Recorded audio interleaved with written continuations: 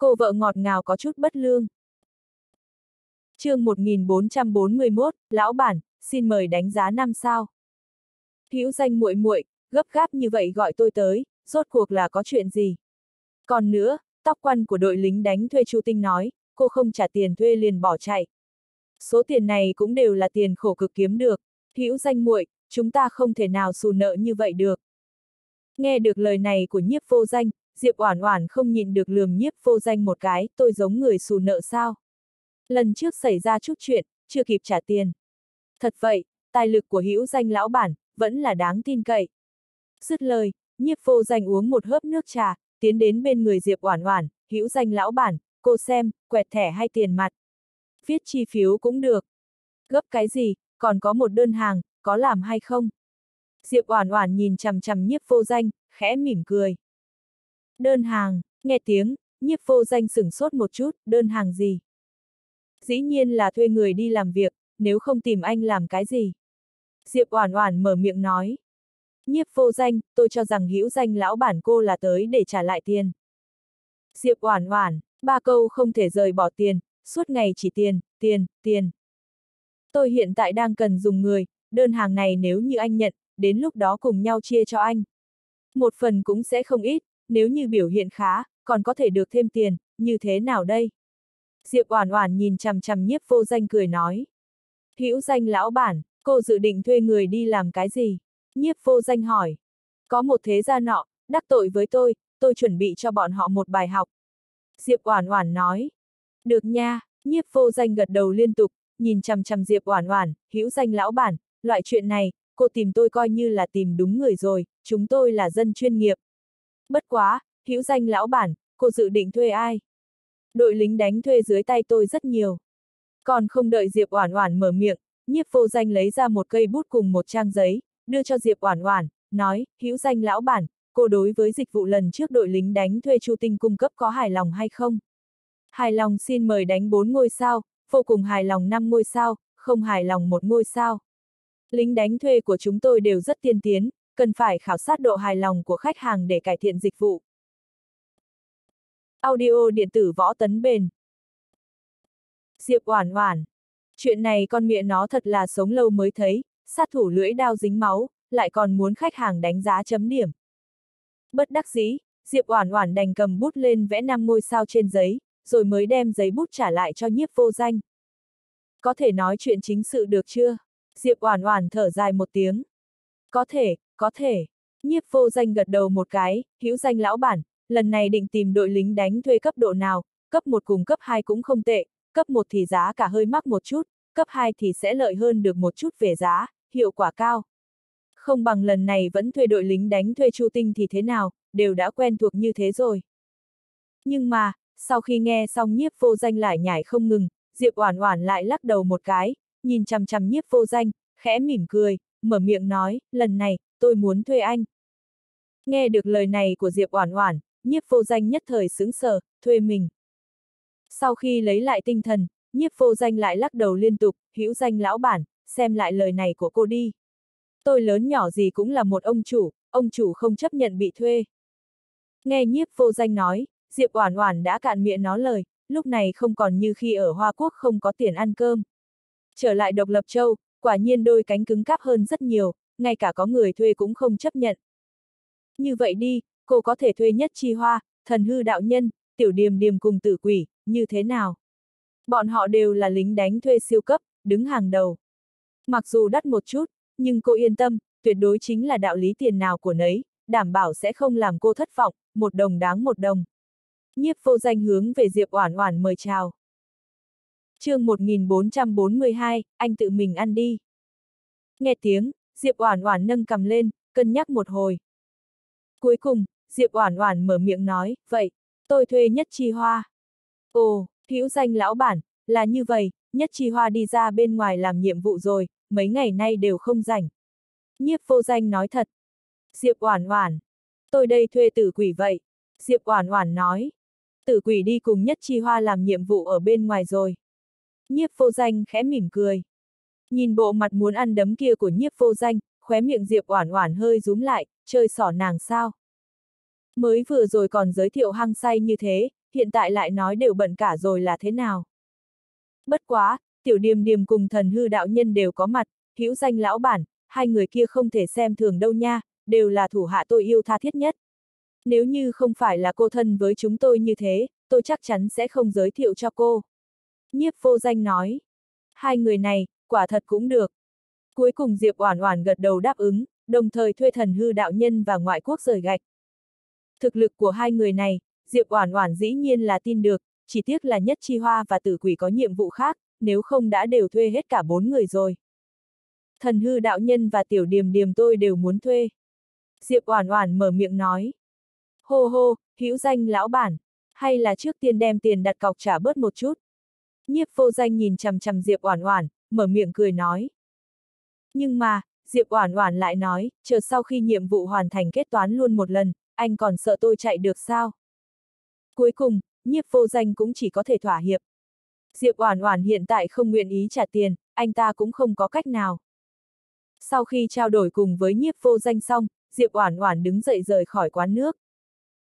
Lúc này, các tinh anh do bắt đầu và thất tinh chọn lựa ra, đã đi trước tới khu Bắc. Chính là bởi vì trời tối trăng mờ chính là lúc tốt nhất để hạ sát thủ, dẫn theo 100 người, thừa dịp trời tối, đi đến khu Bắc, đánh cho thế lực chi nhánh của Atula kia trở tay không kịp. Sau đó không lâu, ngoại quốc rời gạch cùng thần hư đạo nhân cùng nhau hội họp với Diệp Oản Oản ở gần quán nước. Hữu danh lão bản, đã ăn, cứt, hay chưa? Ngoại quốc rời gạch đi tới bên cạnh Diệp Oản Oản, ý cười đầy mặt, lộ ra một bộ răng khỉnh cả hàm. Nghe tiếng, khóe miệng Diệp Oản Oản hơi hơi co giật, không ăn. Anh ăn chưa? Tôi đã ăn cứt rồi. Ngoại quốc rời gạch gật đầu liên tục. Diệp Oản Oản, chủ đề ác tâm như vậy, nàng thật sự không muốn đàm luận. Hơn nữa, chẳng lẽ cái tên này đến bây giờ cũng không biết, cứt, là có ý gì? Thế này cũng quá không khoa học rồi. Bất quá, nghĩ lại, Diệp Oản Oản cũng có thể lý giải được. Cấp bậc sát thủ giống như ngoại quốc rời gạch, cho dù là có cùng người khác tiếp xúc, hỏi người bên cạnh có ăn, cứt, hay không, người bên cạnh cũng không dám trả lời lại cái đề tài này. Đoán chừng lại càng không hiểu được rốt cuộc, ăn cứt, là có ý gì. Hữu danh lão bản, không nghĩ tới cô cũng tới độc lập châu, chờ sau khi nhiệm vụ lần này kết thúc, tôi muốn mời hữu danh lão bản đi ăn một bữa cứt thật no. Diệp Oản Oản, tự mình ăn đi. Cảm ơn, anh khách khí rồi, đến lúc đó để tôi mời anh ăn. Diệp Oản Oản nhắm mắt nói. Chính Diệp Oản Oản cũng không dám nói cho ngoại quốc rời gạch, ăn cứt, rốt cuộc có nghĩa là gì, nếu như ngoại quốc rời gạch biết mình bị thần hư đạo nhân cùng nhất chi hoa hố đến nông nỗi này, rất có thể sẽ lập tức trở mặt, hơn nữa sẽ đánh chết tươi bọn họ, nhất định sẽ như vậy. Hữu danh lão bản, đội trưởng nói, là một thế gia thuộc khu Bắc. Thần hư đạo nhân mở miệng hỏi. Nghe tiếng, Diệp Oản Oản khẽ vuốt cằm, đem ngọn nguồn kể lại cho hai người. Hữu danh lão bản, cô lại có thể giả mạo lão đại không sợ minh. Ngoại quốc rời gạch kinh ngạc nhìn về phía Diệp Oản Oản. Chương 1443, thật có loại vật này. Thế này đã là gì, hữu danh lão bản còn từng để chúng ta giả mạo qua tử vong hoa hồng nữa mà. Thần hư đạo nhân mở miệng. Suy nghĩ kỹ một chút, dường như cũng có chuyện này. Thật không nghĩ tới, hữu danh lão bản còn có loại kỹ năng đặc thù này, người nào cũng đều dám giả mạo. Sau khi cùng hai người tán gẫu một phen, Diệp Oản Oản liền lái xe dẫn theo bọn họ đi tới khu Bắc. Mãi đến khi sắc trời dần dần tối đi, chiếc xe lúc này mới tới được khu Bắc Độc Lập Châu. Không giống với Vân Thành, khu Bắc thuộc về ngoại ô. Nếu nói là mật độ dân rất thưa thớt, cũng không quá đáng. Bắc Đầu và Thất Tinh đã ở chỗ này chờ Diệp Oản Oản, sau khi thấy Diệp Oản Oản xuống xe, lúc này mới đến gần nàng. Nhìn thấy trận thế như vậy, thần hư đạo nhân cười nói, hữu danh. Ặc, à, Bạch Minh Chủ, cô chỉ mang theo nhiêu đó người liền muốn đi gây thù chuộc oán, chỉ sợ không tốt lắm đâu. Diệp Oản Oản lườm thần hư đạo nhân một cái, tôi nếu như có đủ người rồi, tôi còn yêu cầu các anh tới để làm gì? Nghe được câu này của Diệp Oản Oản, thần hư đạo nhân hơi sững sờ, dường như cũng khá hợp lý. Phong tỷ, hai vị này là, thất tinh hướng về thần hư đạo nhân cùng tiểu điềm điềm quan sát, cau mày hỏi. Bằng hữu Diệp Oản Oản trả lời. Lính đánh thuê thủ hạ của nhiếp vô danh, rất ít khi ra mặt tại Độc Lập Châu, trừ phi là có nhiệm vụ, bình thường ngược lại cũng vô cùng bí mật. Người bình thường cũng không biết được thân phận của bọn họ. Mà nguyên tắc thứ nhất của sát thủ, đầu tiên chính là cần phải ẩn núp tốt thân phận của mình. Nếu như ngay cả thân phận cũng không cách nào bảo mật được, vậy còn làm sát thủ với lại lính đánh thuê cái khỉ gì, tiếp nhận nhiệm vụ cái khỉ gì. Nhất là thần hư đạo nhân và tiểu điềm điềm, lại càng không có ai biết được. Tình hình thế nào? Diệp Oản Oản hướng về thất tinh và bắt đầu mở miệng hỏi. Phong tỷ, không mấy lạc quan. Bắt đầu mặt đầy nghiêm túc, thế lực chi nhánh phụ thuộc Atula kia chính là viên gia. Trụ sở chính viên gia cách vị trí hiện tại của chúng ta mười mấy cây số. Chỉ bất quá, bọn họ dường như sớm đã phát hiện, mười mấy huynh đệ đều bị thương không nhẹ. Bắt đầu đi tới bên người Diệp Oản Oản, báo cáo chi tiết những việc đã xảy ra cho nàng. Bắt đầu vừa dứt lời, lại có mấy vị thành viên không sợ minh liên tiếp ngã xuống đất, từ trong miệng phát ra tiếng gào thét, dường như đã phải chịu đựng nỗi thống khổ cực lớn. Giờ phút này, Diệp Oản Oản nhìn mấy người, mặt ngoài tỏ vẻ bình tĩnh, nhưng trong lòng lại là từng gợn sóng trào dâng. Còn không đợi Diệp Oản Oản mở miệng, từ trong tai mắt mũi miệng mấy người, đúng là có máu tươi tràn ra, trong mơ hồ, thậm chí có thể nhìn thấy những con run dài trắng như tuyết ngọ nguậy. Cổ độc. Bắt đầu sắc mặt đại biến, quát lên. Cổ độc, khóe miệng Diệp Oản Oản hơi hơi co giật, lại còn cổ độc gì gì, người tại sao không nói luôn là bị Iron Man, Spider-Man, Batman mai phục. Đích xác là cổ độc chi thuật. Thần hư đạo nhân cùng tiểu điềm điềm chố mắt nhìn nhau, thần sắc hơi có chút kinh ngạc.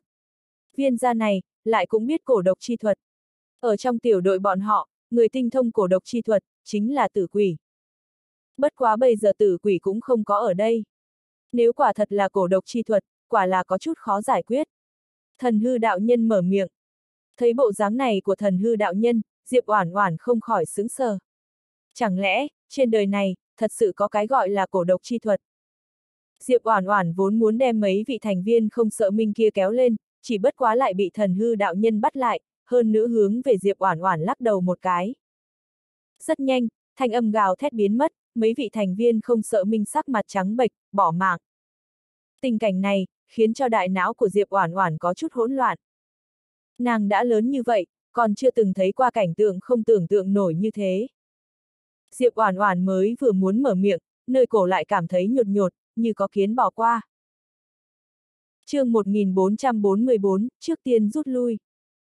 Diệp Oản Oản theo bản năng muốn dùng tay gãi, nhưng sắc mặt thần hư đạo nhân lại biến đổi, đừng động. Cơ hồ chỉ trong chốc lát, thần hư đạo nhân điểm ra một chỉ, đâm chết một con sâu nhỏ nhìn như bò cạp tại nơi cổ Diệp Oản Oản, đánh bay ra ngoài. Đây là cổ trùng, ngoại quốc rời gạch thần sắc kinh ngạc. Tại Độc Lập Châu, quả thực có người biết cổ độc chi thuật, nhưng còn tinh thông như vậy. Cổ trùng, Diệp Oản Oản thầm kinh hãi, thậm chí là khó tin. Chẳng lẽ, ở trên thế giới này, thật sự có thứ gọi là cổ, sao này? Sao cổ, một dạng trùng độc để hại người, gần gần như bùa ngải. Xem chú thích một bên dưới. Lúc này, Diệp Oản Oản nháy mắt cho thần hư đạo nhân, chợt dẫn theo thần hư đạo nhân đi vào bên trong xe. Hữu danh lão bản, làm cái gì vậy? Thần hư đạo nhân mặt đầy khó hiểu. Cổ độc là thứ gì? Anh đừng nói với tôi, thật sự có loại vật này. Diệp Oản Oản mặt đầy vẻ hiếu kỳ. Nhưng mà, thần hư đạo nhân lại vô cùng chắc chắn gật đầu một cái, hữu danh lão bản, tự nhiên là có. Có khả năng hữu danh lão bản cũng không biết rõ. Nghe tiếng, Diệp Oản Oản sắc mặt, á, một cái tái nhợt, thật con miệng nó có loại đồ vật mơ mơ hồ hồ này. Nàng chính là người theo chủ nghĩa duy vật hiện đại của thế kỷ 21 đấy. Hữu danh lão bản hẳn là biết dân tộc Miêu đi. Thần hư đạo nhân mở miệng.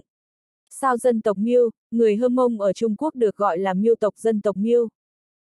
Diệp Oản Oản gật đầu, cái đó ai mà không biết. Hiện tại Miêu tộc không phải đều đã tiếp nhận văn minh hiện đại, cởi mở hơn, đều có thể đến tham quan du lịch rồi, làm gì có cổ thuật nào. Hữu danh lão bản, cô chỉ biết một phần nhỏ, không biết được toàn bộ. Thần hư đạo nhân nhìn Diệp Oản Oản, nghiêm túc nói, Miêu tộc lại phân thành dân tộc Hồng Miêu, Bạch Miêu, Thanh Miêu, Hoa Miêu, Lam Miêu. Bây giờ đối ngoại cởi mở, chỉ còn có mấy dân tộc Miêu này. Ngoài ra, còn có một nhánh thần bí nhất, gọi là Cổ Miêu. Cổ Miêu, Diệp Oản Oản hơi sững sờ. Không sai, thần hư đạo nhân gật đầu, nói Cổ Miêu chuyên nuôi cổ, thần bí nhất, mà trong toàn bộ Miêu tộc, chỉ có Cổ Miêu mới biết cổ thuật. Có căn cứ khoa học nào không? Diệp Oản Oản không tin vào mê tín dị đoan. Ặc, à, rất khó nói, nhưng cổ miêu cũng không cởi mở, ngăn cách với đời, thứ này cô muốn nghiên cứu cũng không có cách nào nghiên cứu được. Thần hư đạo nhân giải thích. Nói đùa sao, vậy nuôi tiểu quỷ tiểu quái vật gì gì đó, chẳng lẽ cũng là sự thật. Diệp Oản Oản nhíu chặt chân mày. Vậy thì hơi khoa trương, các loại cổ này đều là truyền thuyết, không thực tế. Cổ quả thực có tồn tại, nhưng những thứ như nuôi tiểu quỷ mà cô nhắc đến, là chém gió. Thần hư đạo nhân lắc đầu một cái. Đối với cổ miêu, thời điểm Diệp Oản Oản còn ở tại Hoa Quốc cũng từng nghe nói qua. Nghe nói, cổ miêu là một dân tộc ngăn cách với đời, không hòa hợp với bên ngoài, tinh thông cổ thuật. Ban đều khi đọc qua những tin tức này, Diệp Oản Oản cũng không để bụng, cho là tin vịt. Chưa từng nghĩ, ở trên thế giới này, thật sự có loại vật gọi là cổ, này. Nhất là hôm nay, sau khi tận mắt nhìn thấy, rung động khá lớn. Dựa theo những thứ mà thần hư đạo nhân đề cập tới, cổ cũng không phải là thứ tà thần ma quỷ xa xa không thể với tới, mà thật sự có tồn tại. Chỉ bất quá, thế giới quá rộng lớn, dân tộc cổ miêu lại ngăn cách với đời, rất nhiều người chưa bao giờ tiếp xúc qua. Nghe có vẻ huyền diệu khó giải thích, cho nên sẽ rất khó tin tưởng được. Nhưng loại vật này là có thật. Lại loại đến miêu y so với đồng y, phương thức chữa bệnh cũng là hết sức đặc thù, người thường không cách nào hiểu được, nhưng cũng rất có hiệu quả. Có thể có biện pháp gì ngăn cản cổ trùng hay không? Diệp Oản Oản hỏi. Thần hư đạo nhân suy nghĩ một chút, chợt lắc đầu. Đối với cổ độc, hắn chỉ biết sơ sơ, không nắm rõ được bao nhiêu. Vật này tử quỷ tương đối quen thuộc. Rất nhanh, Diệp Oản Oản từ trong xe đi ra, nhìn về phía đám người không sợ minh, ra lệnh, nơi này có cổ trùng, trước tiên rút lui. Chú thích. Một cổ trùng gu trong, là một loại cô trùng độc do con người nuôi dưỡng mà thành. Có nguồn gốc cổ xưa từ các vô sư của nước sở từ hơn 2.000 năm trước. Phương pháp đại ý là đem tất cả các loại côn trùng có độc bỏ vào trong một cái vỏ, để chúng ăn thịt lẫn nhau, đến khi chỉ còn lại một con cuối cùng còn sống sót thì lấy con đó làm cổ tức là vua trong các loại độc. Cổ, ở miêu tộc được xưng là, thảo quỷ, tương truyền nó ký sinh trên người của nữ tử, có thể làm hại người khác. Có những học giả nghiên cứu về miêu tộc cho rằng, toàn miêu tộc cơ hồ đều tin vào cổ. Cổ có tính chất thần bí khó lường cùng độc tính cực mạnh, cho nên gọi là cổ độc, có thể thông qua việc ăn uống mà đi vào cơ thể con người dẫn đến bệnh tật. Người mắc bệnh giống như bị quỷ làm mê muội, thần trí bất minh. Xem thêm. chương 1445, muốn chiến liền chiến. Nghe được mệnh lệnh của Diệp Oản Oản, mọi người lúc này mới xem như thở phào nhẹ nhõm. Cổ đối với bọn họ mà nói, từ trước đến giờ vẫn luôn thần bí. Đối mặt với thứ mà mình không biết, bất luận kẻ nào đều sẽ có tâm lý hoảng sợ. Rất nhanh, Diệp Oản Oản dẫn theo mọi người lùi lại phía sau hơn 10 dặm, cũng chính là chỗ chi nhánh bị viên gia hủy diệt. Chỗ chi nhánh này chính là Ngô gia, đầu nhập vào không sợ minh đã được khoảng 7-8 năm, thế lực tại khu Bắc cũng rất khá, nhưng lại cùng viên gia xảy ra xung đột lợi ích. Cuối cùng viên gia ỉ có A Tu La chống lưng, đem Ngô gia hủy diệt. Phía trước, là sân nhà đã bị tàn phá. Ngô gia chủ ước chừng khoảng trên dưới 50 tuổi, môn đình đã từng huy hoàng, bây giờ không cách nào so sánh được với ban đầu. Ngô gia trên trăm miệng ăn, kẻ chết người bị thương, ngay cả con trai lớn của ngô gia chủ cũng đều đã bị giết chết. Giờ phút này, ngô gia chủ ngồi ở đại sảnh, tóc đã hoa dâm, trong mắt đầy ý bi thương. Gia chủ, chúng ta đi thôi. Nếu không, một khi viên gia phát động đợt tấn công thứ hai. Một chàng trai trẻ nào đó đứng ở bên cạnh ngô gia chủ khuyên nhủ. Chỗ này ta ở mấy chục năm, sẽ không thể nào bỏ rơi không quan tâm được. Ngô gia chủ nói. Nghe tiếng, chàng thanh niên khẽ than thở một tiếng trong miệng. Nguyên bản, hắn còn trông cậy vào không sợ mình có thể giúp ngô gia bọn họ ra mặt. Bây giờ xem ra, căn bản là không có khả năng. Trụ sở chính của không sợ mình cách nơi này khá xa. Hơn nữa, viên gia còn có A Tu La làm chỗ dựa, không sợ minh làm sao lại có thể vì một ngô gia nhỏ bé như bọn họ mà ra mặt. Gia chủ, chẳng lẽ ngài vẫn còn đang ảo tưởng không sợ minh sẽ tới sao? Nam tử trẻ tuổi than khẽ trong miệng. Còn không đợi ngô gia chủ mở miệng, ngoài cửa bỗng xuất hiện một trận chửi mắng. Lúc này, nam tử trẻ tuổi sắc mặt đại biến, liền vội vàng nhìn về phía bên ngoài. Gia chủ, là trưởng lão viên gia mang người đến, thần sắc nam tử trẻ tuổi hơi có chút hốt hoảng. Bây giờ, ngô gia cơ hồ không còn chiến lực, còn có hơn 200 người thương thế nghiêm trọng, đang tiếp nhận điều trị. Lần này, lúc này, ngô gia chủ hừ lạnh một tiếng, lấy ra một thanh trường đao, nhanh chân đi ra ngoài. Ngoài cửa, trưởng lão viên gia dẫn theo một đám tinh anh viên gia, nhìn thấy ngô gia chủ một mình một ngựa đi ra từ hậu viên, không khỏi cười lớn ha hả, lão già kia, ngươi lại còn không chạy sao. Ngược lại quả thật có cốt khí, thấy chết không sờn. Nghe được lời nói này, ngô gia chủ sắc mặt lạnh lẽo, muốn chiến liền chiến, cần gì phải ở chỗ này nói nhảm nhiều. Ha ha ha, lão già kia, ngươi chẳng lẽ còn vọng tưởng không sợ Minh có thể tới cứu các ngươi à, nên tỉnh lại rồi. Trưởng lão viên ra cười lạnh một tiếng, chợt nháy mắt cho thủ hạ, giết, không chừa một mống. Dứt tiếng, hơn 10 người hướng về phía ngô gia chủ phóng tới. Nhưng mà, ngô gia chủ sách theo trường đao, không lùi mà tiến tới, trong mắt không có chút sợ hãi nào. Trường đao mỗi lần vung lên, nhất định sẽ lấy đi một mạng tinh anh của viên gia. Nhưng mà, hai quyền khó địch bốn tay, từ xưa đến nay, đều là như thế. Huống chi, ngô gia chủ tuổi tác đã cao.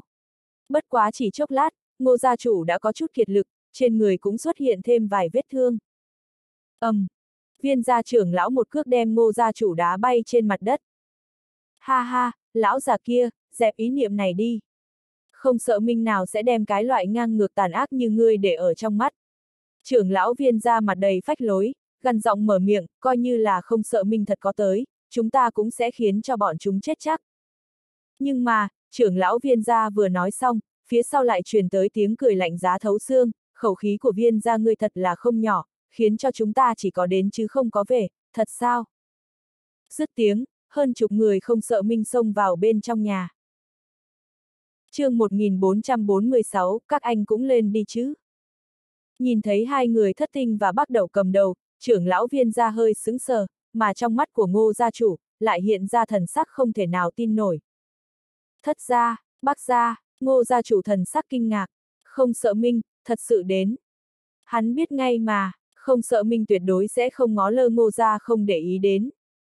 Bắt đầu, thất tinh, trưởng lão viên gia nhìn chằm chằm bắt đầu và thất tinh, nhíu chặt lông mày. Hai người này, cũng không phải là loại dễ đối phó chút nào. Hơn nữa, trưởng lão viên gia căn bản chưa bao giờ nghĩ tới, không sợ Minh lại thật sự sẽ đi tới khu Bắc, sẽ thay cái ngô gia nhỏ bé này ra mặt. Nhưng mà, thất tinh và bắt đầu cũng không mở miệng, chẳng qua chỉ thối lui sang hai bên. Phía sau hai người, là một nữ nhân mặc y phục màu đen lặng yên đứng đó không nói tiếng nào. Nữ nhân này có dung mạo tuyệt đẹp, khóe môi nhếch lên một nụ cười khẽ bất cần đời. Nhìn thấy cô gái mặc quần áo đen này, trưởng lão viên ra càng thêm ngơ ngác. Nhìn thần sắc của bọn thất tinh bắt đầu này, chẳng lẽ, địa vị của nữ nhân này tại không sợ minh, so với hai người bọn họ còn cao hơn. Không nói đến trưởng lão viên gia, ngay chính ngô gia chủ cũng mang theo thần sắc đầy nghi hoặc. Bắt đầu cùng thất tinh có thể đi tới ngô gia, vì ngô gia ra mặt, đã khiến cho hắn cảm thấy không tưởng tượng nổi. Chẳng lẽ, địa vị của nữ nhân này tại không sợ minh, so với bắt đầu cùng thất tinh, đã cao như vậy lại còn có thể cao hơn, chuyện này làm sao có thể?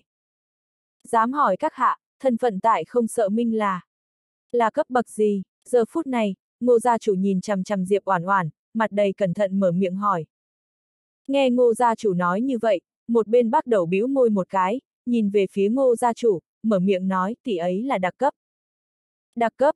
Bắt đầu vừa dứt tiếng, ngô gia chủ cùng đám người viên gia đều sửng sốt. Đặc cấp tại không sợ mình có nghĩa là, đặc cấp lớn hơn trời. Nếu như có năng lực đủ gọi là đặc cấp, ở bên trong toàn bộ không sợ minh, vậy chỉ có mỗi một mình. Không sợ minh chủ tóc húi cua ca. Nghĩ đến đây, ngô gia chủ cùng thanh niên bên cạnh, thân thể nhất thời run lên, nhìn chằm chằm Diệp Oản Oản, thần sắc không thể nào tin. Không, không, không sợ, minh chủ.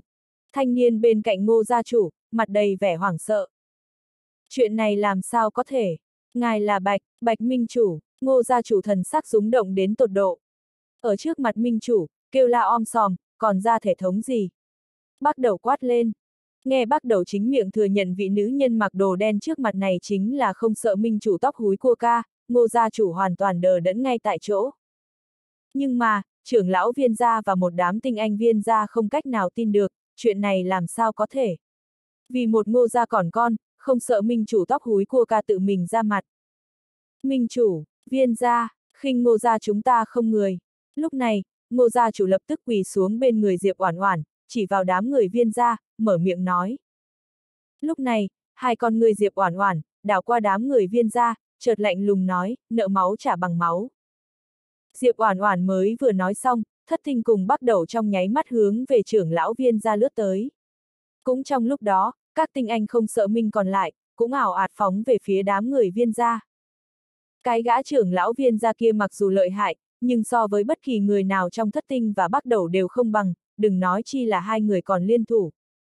Nhiều lắm chỉ trong vòng mấy hơi thở, nơi này đã loạn thành một đoàn, tiếng kêu gào la giết vang lên không dứt, chính ngô gia chủ cũng lần nữa nhấc trường đao lên sông vào đám người. Các anh cũng lên đi chứ.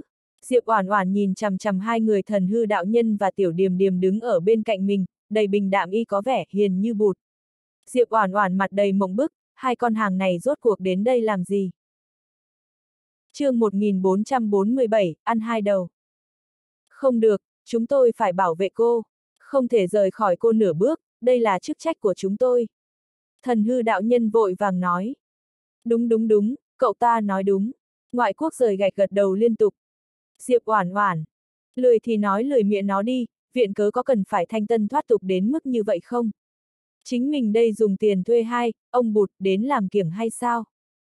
Nhưng mà, cuộc chiến đấu này tới nhanh, kết thúc cũng nhanh, căn bản không cần tiểu điềm điềm và thần hư đạo nhân ra tay, trưởng lão viên gia đã bị bắt đầu cùng thất tinh đánh chết tươi, đám người viên gia còn lại cũng tử thương thảm trọng. Không ít kẻ quỳ sụp xuống đất, hai tay ôm đầu, không dám còn bất kỳ kháng cự nào nữa. Bọn họ đối mặt, chính là cường giả tinh anh của không sợ minh. Đem đám chó chết này giam lại, bắt đầu hướng về võ giả trẻ tuổi bên cạnh ngô gia chủ ra lệnh. Vâng, thanh niên nhất thời tinh thần tỉnh táo, hướng về đám võ giả viên ra đầu hàng đạp cho một trận, sau đó đem bọn họ nhốt ở trong địa lao ngô gia. Đa tạ minh chủ, ngô gia chủ lập tức quỳ sụp xuống đất, hướng về Diệp Oản Oản nói. Nghe tiếng, Diệp Oản Oản cười nhạt, mở miệng nói, ngô gia đã là thế lực chi nhánh của không sợ minh chúng ta, há là để mặc ai cũng có thể khi dễ. Ngô gia chủ thần sắc kích động vạn phần, thật là thụ sủng nhược kinh. Đường đường là không sợ minh chủ, tóc húi cua ca lẫy lừng của độc lập châu, lại có thể nói chuyện ôn hòa với hắn như vậy. Hơn nữa còn đích thân ra mặt thay ngô gia. Ngô gia chủ, đường phía trước để tiến đến viên gia bị hạ cổ trùng, chung quanh đây có còn đường tắt nào khác hay không? Diệp Oản Oản nhìn Ngô gia chủ hỏi. Nghe tiếng, Ngô gia chủ gật đầu, Minh chủ xin yên tâm, nơi này có đường thủy. Chúng tôi có thuyền, có thể thẳng tiến đến viên gia. Chỉ bất quá, viên gia nếu đã hạ độc trên đường, tất nhiên có đề phòng. Không cần lo âu, ông chỉ cần quan tâm dẫn chúng tôi đi là được. Diệp Oản Oản nói. Vâng, Ngô gia chủ gật đầu liên tục, sau đó đứng dậy. Thừa dịp lúc đêm khuya, đoàn người Diệp Oản Oản phân thành mấy tốp ngồi lên thuyền, cuối cùng đến được phụ cận viên gia. Nhưng mà, viên gia bây giờ lại phòng thủ vô cùng xâm nghiêm.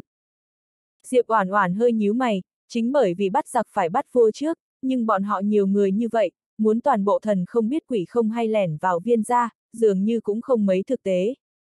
Lúc này, Diệp Oản Oản nhìn về phía tiểu điềm điềm cùng thần hư đạo nhân. Hai con hàng này, rốt cuộc có đất dụng võ rồi. Ba người chúng ta lẻn vào đi. Diệp Oản Oản hướng về hai người nói. Minh chủ, hai người chúng tôi vẫn là nên ở bên ngoài canh chừng đi. Thần hư đạo nhân mở miệng. Nhưng mà, thần hư đạo nhân vừa dứt lời, đã bị Diệp Oản Oản nắm chặt lấy lỗ tai một cái. Canh chừng, canh chừng cái em gái ngươi á, tiêu nhiều tiền như vậy thuê các ngươi, là để cho các ngươi tới canh chừng. Bất đắc dĩ, thần hư đạo nhân cùng tiểu điềm điềm chỉ có thể dẫn theo Diệp Oản Oản, hướng về khu nội viên của viên gia lẻn vào. Với thân thủ của hai người, quả thực có thể khiến thần không biết quỷ không hay, cũng không làm kinh động phòng thủ xâm nghiêm bốn phía. Diệp Oản Oản âm thầm cười lạnh, dựa vào tiểu điềm điềm cùng thần hư đạo nhân, bắt được gia chủ nhà họ viên, hoàn toàn không thành vấn đề. Thực lực của hai người này, đã thuộc về siêu cấp S, chỉ sợ chính tại Độc Lập Châu, cũng rất khó có thể gặp được địch thủ. Nội viên viên gia là một vùng tăm tối, chỉ riêng thư phòng có ánh đèn sáng lên. Ba người Diệp Oản Oản, lặng lẽ tiến đến gần bên ngoài thư phòng, áp tai vào cửa sổ, quả nhiên là có người nói chuyện.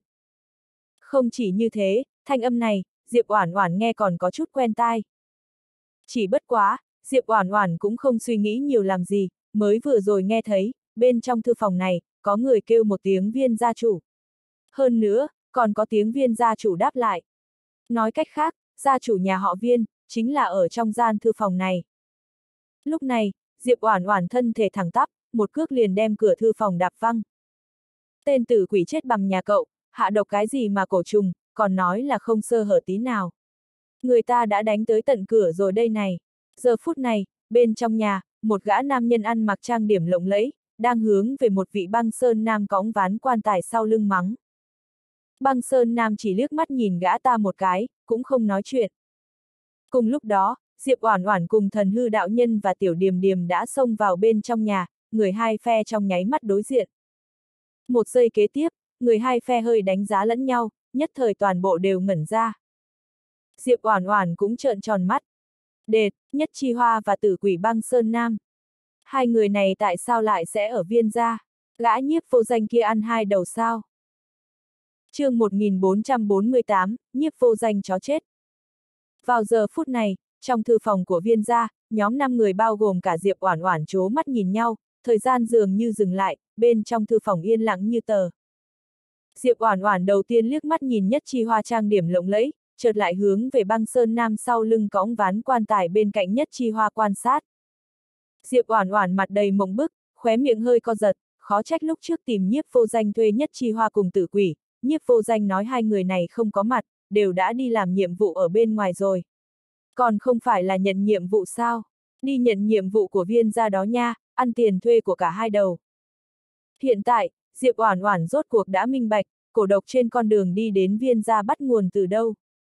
Trước đó thần hư đạo nhân đã nói, bên trong mấy người bọn họ, chỉ có tử quỷ mới am hiểu cổ thuật. Ai ngờ đâu, cổ trùng trên con đường này, chính là do cái gã tử quỷ này hạ độc. Mà chính vì cổ thuật này, đã làm tổn thất không ít huynh đệ không sợ minh. Ở bên cạnh nhất chi hoa và băng sơn Mỹ Nam, một vị lão giả khoảng chừng 40 đến 50 tuổi đứng yên lặng. Người này ăn mặc trang phục vô cùng đắt tiền, át hẳn chính là gia chủ viên gia. Lập tức, viên gia chủ nhìn đám người Diệp Oản Oản, lông mày nhíu chặt. Trước đó từ sớm, khi hắn nhận được tin không sợ Minh rất có thể sẽ tới và tiến hành trả thù, cho nên đã thuê hai vị cường giả sát thủ hàng đầu. Hơn nữa, một vị sát thủ trong đó còn hạ cổ trùng trên con đường đi đến viên gia. Những người này, đến tột cùng là như thế nào xông qua con đường kia, hơn nữa còn thâm nhập vào viên gia. Hai vị, mau mau che chở chu toàn cho ta. Viên gia chủ lập tức nhìn về phía nhất chi hoa cùng băng sơn Mỹ Nam, vội vã mở miệng nói, đem bọn họ toàn bộ giết chết. Nhưng mà, nhất chi hoa và băng sơn Mỹ Nam lại không mở miệng nói chuyện, còn có chút ngơ ngác. Tiểu điềm điềm và thần hư đạo nhân làm sao lại tới đây? Được lắm, bỗng nhiên, thần hư đạo nhân chỉ vào nhất chi hoa và băng sơn Mỹ Nam, lạnh giọng quát lên, hai người các cậu, lại có thể lén nhận nhiệm vụ riêng sau lưng tôi và tiểu điềm điềm. Nhất chi hoa. Băng sơn Mỹ Nam. Hừ, nhất chi hoa hoàn hồn lại, lúc này mới hừ lạnh một tiếng, con người phân biệt đảo qua thần hư đạo nhân và ngoại quốc rời gạch, T-R-U-I-E-N-F-U-L-L, VN mở miệng nói, nói chúng tôi mà không thấy ngượng sao. Hai người các cậu cũng không phải là lén sau lưng tôi và lão công đi nhận nhiệm vụ riêng hay sao? Nhất chi hoa nói xong, lúc này khoác cánh tay của băng sơn Mỹ Nam, lão công nói xem có đúng hay không. Nhưng mà, băng sơn Mỹ Nam chẳng qua chỉ hờ hững liếc mắt nhìn nhất chi hoa một cái, dường như cũng không có hứng thú mở miệng nói chuyện. Lão công đã nói rồi, là hai người các cậu không ngại mất mặt, lén nhận nhiệm vụ riêng, còn không biết xấu hổ đi trách chúng tôi, phi. Nhất chi hoa hướng về thần hư đạo nhân cùng tiểu điềm điềm mắng. Diệp Oản Oản nhìn chằm chằm nhất chi hoa, nghẹn ngào không nói nên lời. Con miệng nó, tự quỷ đến bây giờ ngay cả miệng cũng không mở lấy một lần, người đang chơi đọc tâm thuật sao. Nhiệm vụ của chúng tôi, là đội trưởng nhận, thần hư đạo nhân thẳng tắp sống lưng. Đúng đúng đúng, cậu ta nói đúng. Ngoại quốc rời gạch gật đầu liên tục. Đạo sĩ thối, người hù dọa lão nương à. Nhất chi hoa mặt đầy vẻ khinh thường, nhiệm vụ của chúng tôi, cũng là do đội trưởng phê chuẩn. Tình cảnh trước mắt, quả là hết sức khó xử. Khóe miệng Diệp Oản Oản hơi hơi dương lên, lộ ra một nụ cười đầy ức chế, nhiếp vô danh chó chết. Tính toán lại một chút, nếu đã như vậy, chúng ta đi thôi. Thần hư đạo nhân hướng về ngoại quốc rời gạch nói. Nghe được lời này của thần hư đạo nhân, ngoại quốc rời gạch gật đầu liên tục. Bên ngoài thời tiết quá nóng, viên gia này ngay cả một cái máy điều hòa không khí cũng đều không mở. Hắn muốn mau nhanh về nhà mở máy điều hòa ăn dưa hấu. chương 1449, Chiến trường không cha con. Thấy hai người này muốn rời đi, Diệp Oản Oản trong nháy mắt chặn lại đường đi của thần hư đạo nhân và ngoại quốc rời gạch. Nàng tốn tiền thuê tới, chuyện vẫn còn chưa làm xong liền muốn chạy. Chạy đi đâu? Diệp Oản Oản nhìn chằm chằm thần hư đạo nhân cùng tiểu điềm điềm, mở miệng nói. Về nhà ăn cứt, ngoại quốc rời gạch nói. Diệp Oản Oản, vẫn là người mạnh mẽ. Đừng quên các anh lần này tới đây làm gì, hai người các anh là tôi dùng vàng dòng bạc trắng từ trong tay tên khốn kiếp nhiếp vô danh kia mướn tới, việc vẫn còn chưa làm liền muốn bỏ đi là sao? Có tin tôi đánh giá chất lượng dịch vụ của hai người một sao kém hay không? Diệp Oản Oản uy hiếp nói.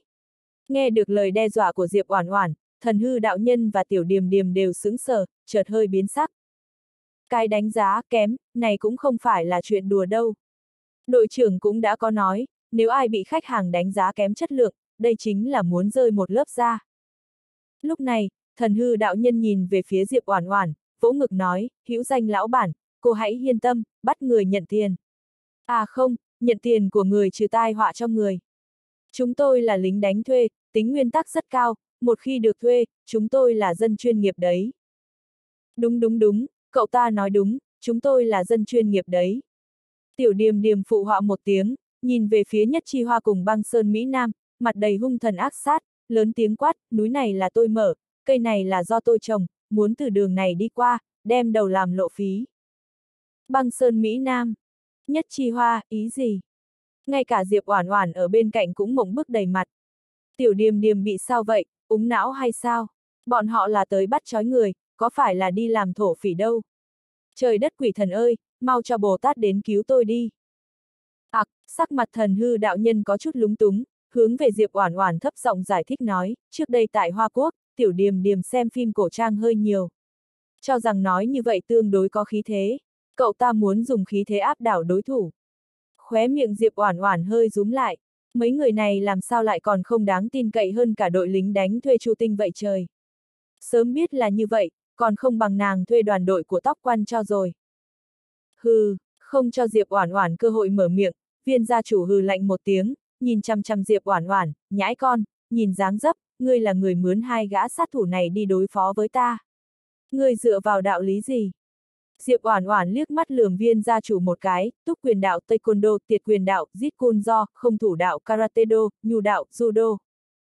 Nghe vậy, thần sắc viên gia chủ nhất thời giận dữ, tiểu hỗn đản, người đùa bỡn ta. Nói xong, thân hình viên gia chủ lóe lên, đưa tay về trước định tóm lấy Diệp Oản Oản. Cút, lúc này, thần hư đạo nhân đứng ở bên cạnh Diệp Oản Oản, điểm ngang một cái, chỉ dùng kinh lực một ngón tay, đem viên gia chủ bức lui. Dám động tới khách hàng của ta, đã hỏi qua ý kiến ta sao? Thần hư đạo nhân cười lạnh một tiếng. Ha, một đạo sĩ thối như cậu, người thuê cậu là khách hàng, người thuê tôi cũng không phải là khách hàng sao? Nhất chi hoa đem viên gia chủ che chở ở sau lưng, chợt chỉ vào thần hư đạo nhân mắng. Tôi nhổ vào, tên chết bằng nhà cậu, chiến trường không phân biệt cha con, ra chiêu đi. Thần hư đạo nhân cười lạnh một tiếng. Chiến trường không phân biệt cha con, nghe tiếng, nhất chi hoa thần sắc kinh ngạc, có ý gì? Óc chó, hắn nói hắn là cha của cậu, ngoại quốc rời gạch nói. Lúc này, nhất chi hoa sắc mặt hơi giận, nhìn về phía băng sơn Mỹ Nam ở bên cạnh, lão công, đạo sĩ thối nói, hắn là cha của chúng ta. Hạ độc chết hắn. Nhưng mà, băng sơn Mỹ Nam chỉ ngáp một cái, vô cùng tự nhiên ngồi trên mặt đất, bất quá chỉ trong vòng vài hơi thở, liền từ ngồi biến thành nằm, dường như cùng mặt đất hòa làm một thể, không có bất kỳ giác quan nào chương 1450, lão nương không làm được. Tránh ra, chúng tôi được hữu danh lão bản thuê, tối nay phải bắt lão lưu manh viên gia chủ này. Thần hư đạo nhân ngữ khí cứng rắn. Thẳng đến giờ phút này, Diệp Oản Oản lúc này mới gật đầu một cái, trong lòng ít nhiều có chút an ủi, thế này mới đúng chứ. Phi, đạo sĩ thối nhà cậu, nếu đã như vậy, vậy chúng ta ai vì chủ nấy, đấu một hồi phân thắng bại. Nhất Chi Hoa nói. Trong lúc nói chuyện, Nhất Chi Hoa tung một trường đánh vào nơi ngực của thần hư đạo nhân. Tên chết bầm, dám mò ngực của tôi. Trong khi nói chuyện, thần hư đạo nhân tung một quyền đánh vào trên mặt của Nhất Chi Hoa. Lúc này, chỉ nghe Nhất Chi Hoa thét chói tai một tiếng, tôi với cậu vui đùa một chút, cậu lại có thể đánh thật. Đem phấn trang điểm tôi dùng cả mấy tiếng mới đánh xong. Lão nương liều mạng. Diệp Oản Oản chỉ kịp thấy, trong nháy mắt khi hai người thần hư đạo nhân và nhất chi hoa chiến đấu, bàn ghế trong thư phòng này, cơ hồ cùng một lúc bị hất bay đánh nát. Nhìn thấy nhất chi hoa và thần hư đạo nhân đánh nhau, ngoại quốc rời gạch chỉ vào băng sơn Mỹ Nam nằm dưới đất, quát to một tiếng, tới đây, đánh đi, cậu qua đây đi. Thấy băng sơn Mỹ Nam chẳng qua chỉ điều chỉnh tư thế ngủ một cái, cũng không hề có hứng thú đứng dậy, ngoại quốc rời gạch tiếp tục kêu réo om sòm, cậu có phải là sợ tôi rồi hay không, nếu đã có bản lĩnh đóng giả người chết, vậy cũng nên có bản lĩnh đứng lên chứ. Băng Sơn Mỹ Nam Bỗng nhiên trong lúc đó, băng Sơn Mỹ Nam từ trên mặt đất chậm rãi đứng lên. Chẳng qua là, còn không đợi ngoại quốc rời gạch kịp có động tác gì, băng Sơn Mỹ Nam bỗng nhiên đem ván quan tài đẩy ra, dưới con mắt của mọi người, cả người nhảy vào bên trong quan tài. Một giây kế tiếp, chỉ nghe, uỳnh, một tiếng, ván quan tài nặng nề khép lại. Diệp Oản Oản, ngoại quốc rời gạch, hữu danh lão bản, chuyện này cũng không trách tôi được, cô đến lúc đó cũng không thể đánh giá tôi chất lượng kém đâu đấy. Lúc này, ngoại quốc rời gạch xoay người, nhìn Diệp Oản Oản, ý cười đầy mặt. Diệp Oản Oản muốn mở miệng nói chuyện, nhưng cuối cùng lại không thể há miệng. Một bên khác, Nhất Chi Hoa dường như không phải là đối thủ của thần hư đạo nhân, ăn một chút thua thiệt. Chỉ thấy, Nhất Chi Hoa lui xuống dưới, một tay đem ván quan tài của băng sơn Mỹ Nam sốc lên, nhìn thấy băng sơn Mỹ Nam ở trong quan tài vô cùng an nhàn, cả giận nói, lão công, giúp tôi đánh hắn, hắn chơi thật đấy. Băng sơn Mỹ Nam ngáp một cái, mặt đầy ghét bỏ nhìn nhất chi hoa, sau đó lắc đầu một cái.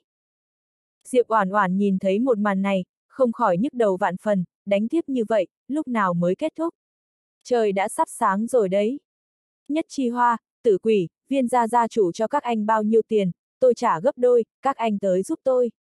Diệp Oản Oản hướng về hai người mở miệng nói. Nghe Diệp Oản Oản nói lời ấy, hai gương mặt vốn đang buồn ngủ hoặc tức giận ngút trời, cơ hồ lập tức tỉnh táo lại, con ngươi của hai người đồng thời sáng lên. Yo, hữu danh muội, cô nói xem, với quan hệ của chúng ta, nói chi mà tiền với bạc, tôi và lão công khẳng định sẽ giúp cô, có phải vậy hay không lão công? Nhất chi hoa hướng về băng sơn Mỹ Nam rốt cuộc cũng ngồi dậy, nói. Nghe tiếng, băng sơn Mỹ Nam gật đầu liên tục. Thấy một màn này, viên gia chủ sợ hết hồn, hai người này nếu như bị kêu gọi đầu hàng, vậy còn đến đâu? Nữ nhân này trả bao nhiêu, tôi trả gấp ba. Viên gia chủ vội vã mở miệng. Hữu danh muội muội, tuy chúng ta có quan hệ tốt, nhưng chúng tôi là lính đánh thuê, là dân chuyên nghiệp, có nguyên tắc của mình. Nếu đã được viên lão bản thuê, vậy thì phải chuyên tâm phục vụ, làm sao có thể nhảy ngang được. Chuyện này không được, không tuân theo nguyên tắc sát thủ là tội rất nghiêm trọng. Xin lỗi, lão nương không làm được, nhất chi hoa vô cùng đau đớn nói. chương 1451, em gái ngoan của tôi. Tôi trả gấp 4 lần. Diệp Oản Oản cười lạnh một tiếng. Hữu danh lão bản, với quan hệ của chúng ta, với quan hệ của cô và đội trưởng, chút nguyên tắc này nhằm nhò gì? Chúng ta tình thân như thủ túc, cũng như anh em cùng mẹ sinh ra, chúng tôi khẳng định sẽ giúp cô. Nhất Chi Hoa nhìn chằm chằm Diệp Oản Oản, mặt đầy nghiêm túc. Ngay cả băng sơn Mỹ Nam ở bên cạnh cũng hiếm thấy gật đầu một cái. Tôi trả gấp 10 lần. Viên gia chủ tức giận hét lớn. Gấp 10 lần, nhất chi hoa nuốt nước miếng một cái, hữu danh lão bản, xin lỗi. Chúng tôi là lính đánh thuê chính quy, không thể bị kim tiền cám dỗ. Ồ, Diệp Oản Oản gật đầu một cái, tôi dự định trả 100 triệu, nếu như hắn ta trả gấp 10 lần, đó chính là 1 tỷ, hai người 2 tỷ, anh trước tiên đòi tiền hắn ta đi đã. Một tỷ, bỗng nhiên, thần hư đạo nhân kinh ngạc nhìn về phía viên gia chủ, viên lão bản, tôi vô cùng tán thưởng cách làm người của ông, tôi cùng tiểu điềm điềm dự định cũng nhảy sang phe của ông đây. Chúng ta trước tiên thanh toán trước đi đã, tiền mặt. Ông nhất định là không lấy ra được, quẹt thẻ đi.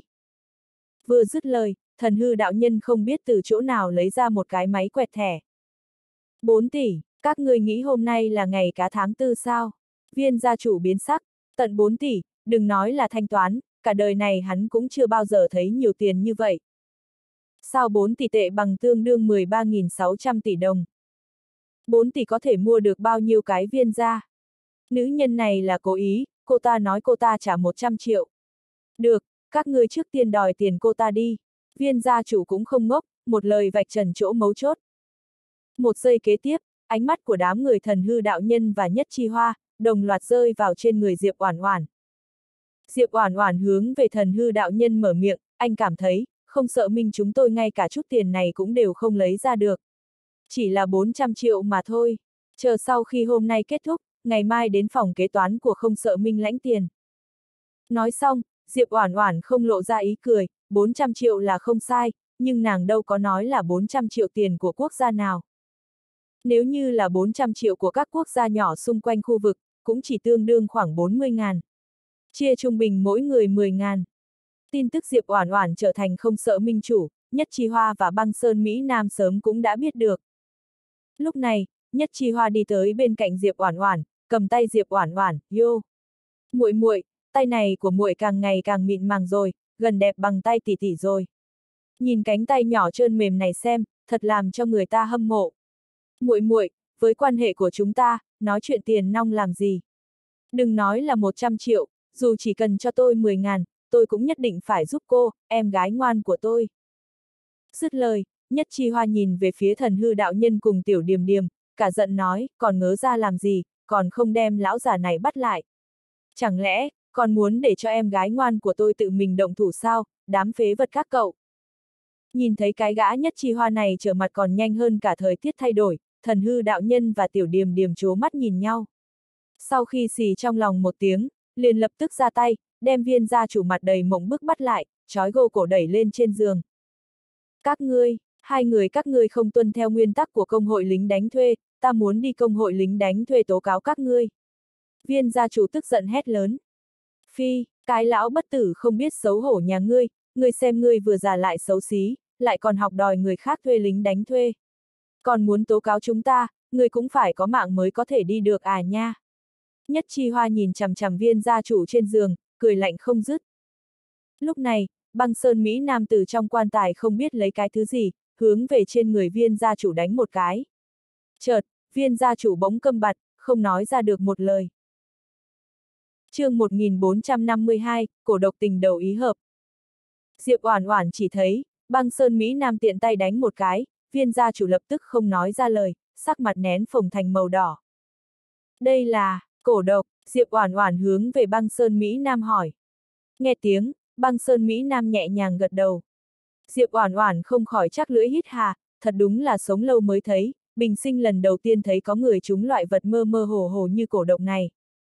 Lão bản, gã viên gia chủ này bị trói rồi, bước kế tiếp hẳn là nên làm gì? Giờ phút này, Nhất Chi Hoa đứng ở bên cạnh Diệp Oản Oản, mặt đầy nụ cười lấy lòng. Diệp Oản Oản trầm tư chốc lát, còn chưa kịp mở miệng, bên ngoài bỗng xuất hiện tiếng bước chân rất có quy luật. Hiện tại, đám người viên gia đã sớm đem ba tầng trong ngoài thư phòng vây lại. Người ở bên trong nghe rõ, chúng ta đã thông báo cho Atula cùng Tu La chủ. Nếu như các ngươi không muốn chết, lập tức để cho gia chủ bình an xuất hiện ở trước mặt chúng ta. Ngoài thư phòng, một ông lão nghiêm nghị quát lên. Trước đó, động tính bên trong thư phòng lớn như vậy, đám người viên gia toàn bộ đều đã sớm biết, có thể viên gia chủ đã bị người khác quản chế, bọn họ cũng không dám tùy tiện xông vào trong thư phòng. A Tu La. Nhất chi hoa hơi sững sờ, chợt cười nói, cái gã Tu La chủ chủ đó hơi khó đối phó, người đông thế mạnh. Chúng ta hay là nên sớm chạy đi, nếu không chờ người của A Tu La đến, chúng ta sẽ gặp nhiều phiền toái hơn. Cũng đúng, chủ yếu đội trưởng và A Tu La không thù không oán, nếu như chúng ta chính diện gây ra mâu thuẫn, thật giống như là không tốt lắm. Không bằng rút lui trước, thần hư đạo nhân cũng gật đầu liên tục. Lúc này, ánh mắt của mọi người rơi vào trên người Diệp Oản Oản. Diệp Oản Oản hiện tại chính là đại tài chủ của đám người thần hư đạo nhân và nhất chi hoa, vì vậy phải nghe theo lệnh của nàng. Nhưng mà, Diệp Oản Oản mới vừa muốn mở miệng nói gì, lại nghe thấy trên giường có tiếng dây thừng đứt. Cùng lúc đó, viên gia chủ đem sợi dây kéo đứt, từ trên giường nhảy lên một cái, thậm chí còn chưa kịp hiểu đã xảy ra chuyện gì, viên gia chủ một cước đem ván quan tài của băng sơn Mỹ Nam ở bên cạnh đá văng. Sớm từ lúc trước, viên gia chủ đã thấy được băng sơn Mỹ Nam từ bên trong quan tài lấy ra cổ trùng, đương nhiên cũng biết rõ, vị sát thủ này tinh thông cổ thuật, vậy cổ của hắn ta liền đặt ở bên trong quan tài. Mãi đến giờ phút này, nhất chi hoa cùng thần hư đạo nhân mới hồi phục lại tinh thần, mắt thấy cái gã viên gia chủ kia đem hai tay bỏ vào bên trong quan tài, sợ hãi đến hết hồn hết vía. Trong quan tài kia, đều là cổ trùng và cổ độc của tử quỷ đấy. Bỗng nhiên trong lúc đó, từ trong miệng viên gia chủ, phát ra một tiếng tiếng cười thê lương, chợt hai tay cầm lấy một loại cổ không biết là thứ gì, làm bộ như hướng về phía đám người Diệp Oản Oản ném tới. Thấy vậy, đám người nhất chi hoa thần sắc đại biến, cơ hồ theo bản năng, lập tức hướng về phía sau thối lui. Nếu lỡ như bị quăng trúng, còn có mạng để nhận thù lao sao? Nhưng mà, cái gã viên gia chủ này cũng thông minh, động tác mới vừa rồi, chẳng qua chỉ là đánh nghi binh, chờ sau khi thân hình đám người Diệp Oản Oản dừng lại, lúc này mới hướng về Diệp Oản Oản ném tới. Dưới tình huống bất ngờ không kịp đề phòng, Diệp Oản Oản thân thể tê dần, như có ngàn vạn con kiến bò khắp người Diệp Oản Oản. Mà cách đó không xa, nụ cười trên mặt viên gia chủ bỗng nhiên cứng đờ lại.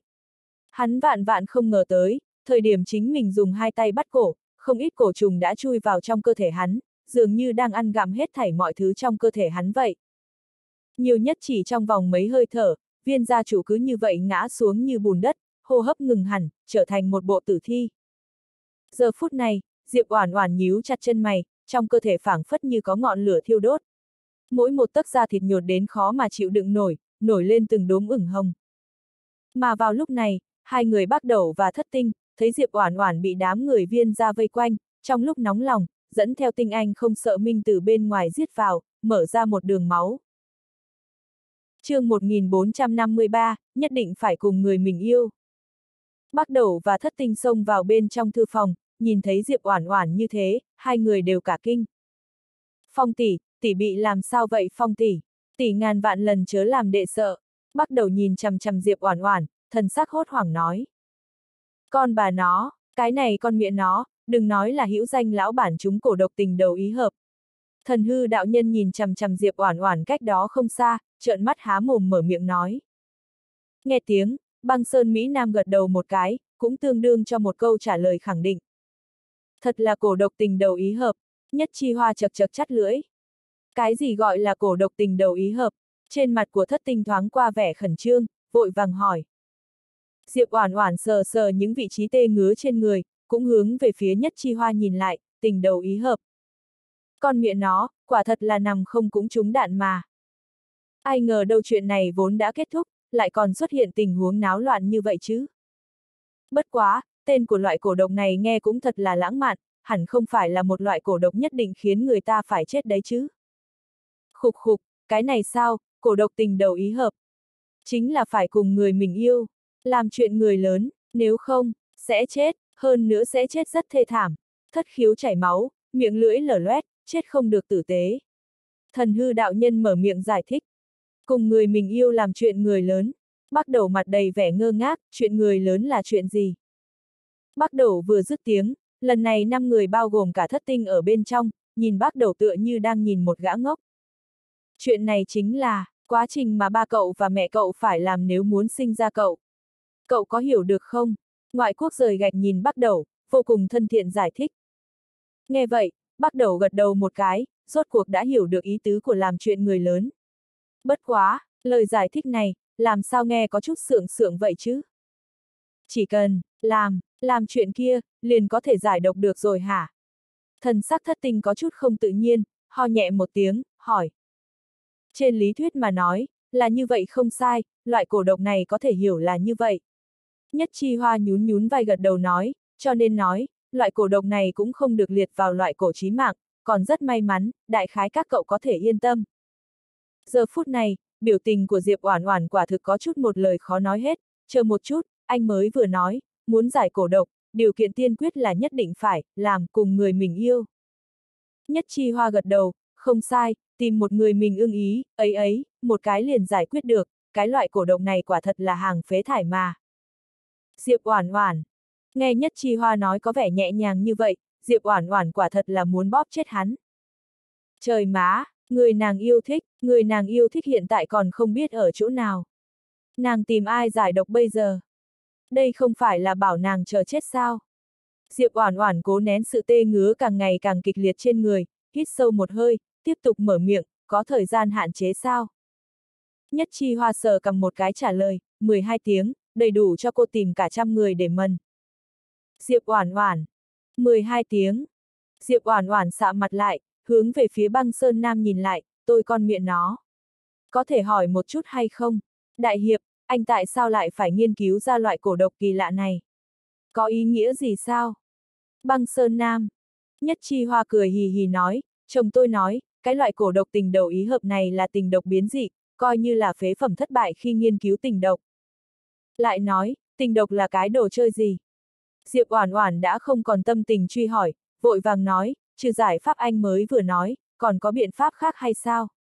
Nếu như anh là người hạ độc, vậy khẳng định có phương pháp giải chứ?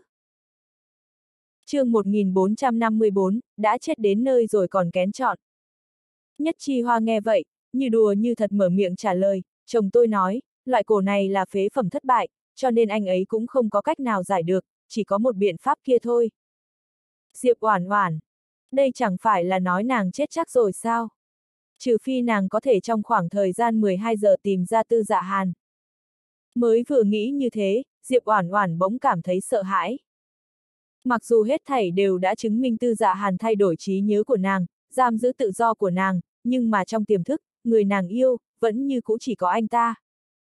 Nếu như quả thật để cho nàng tùy tiện tìm người khác để giải độc, dựa theo cái nguyên tắc người giải độc nhất định phải là người nàng yêu, vậy tuyệt đối thứ chờ nàng chỉ có một con đường chết. Vậy còn không dễ dàng sao? Bắt đầu vỗ ngực một cái, lòng tin tràn đầy mở miệng nói, phong tỷ, tỷ thích dạng gì, để đi tìm tới cho tỷ. Là Mỹ nam tử diêm rúa loè loẹt, hay là đại thúc thành thục chín chắn, là chó săn nhỏ hay là tiểu thịt tươi. Giờ phút này, ý thức Diệp Oản Oản đã dần dần có chút mơ hồ, sậm mặt lại lườm bắt đầu đang tự vạch áo cho người xem lưng. Không thích sao, bắt đầu gãi đầu một cái lầu bầu, phong tỷ, tỷ đã chết đến nơi rồi mà còn kén chọn. Cứ vậy đi, tỷ thích dạng gì, đệ khẳng định đều có thể tìm tới cho tỷ. Thấy Diệp Oản Oản không nói lời nào, bắt đầu dứt khoát tự làm chủ, lập tức an bài xong, để cho người đi tìm các thể loại trai đẹp. Hô hô, nếu đã không có việc gì, chúng tôi đây liền đi trước đây. Bạch lão bản, cô mau nhanh tìm người giải cổ độc đi. Đúng rồi, nhớ đến đem tiền chuyển sang tài khoản của đội trưởng chúng tôi nha a. Nhất chi hoa cười ha hả mở miệng nói. Diệp Oản Oản cố gắng lau mồ hôi lạnh nhễ nhại trên trán. Chuyển cái em gái người ấy. Không có việc gì, thế này gọi là không có việc gì. Có loại hố hàng như vậy hay sao? Lại có thể cứ như vậy đi rồi. Nhóm 5 người mới vừa đi không bao lâu, thất tinh nhanh chóng phái người khống chế viên ra, ngay sau đó giải tán đám người không liên quan. Một lát sau, bắt đầu phân phó một tên thuộc hạ vội vã dẫn theo hơn chục gã đàn ông dần dật đi qua.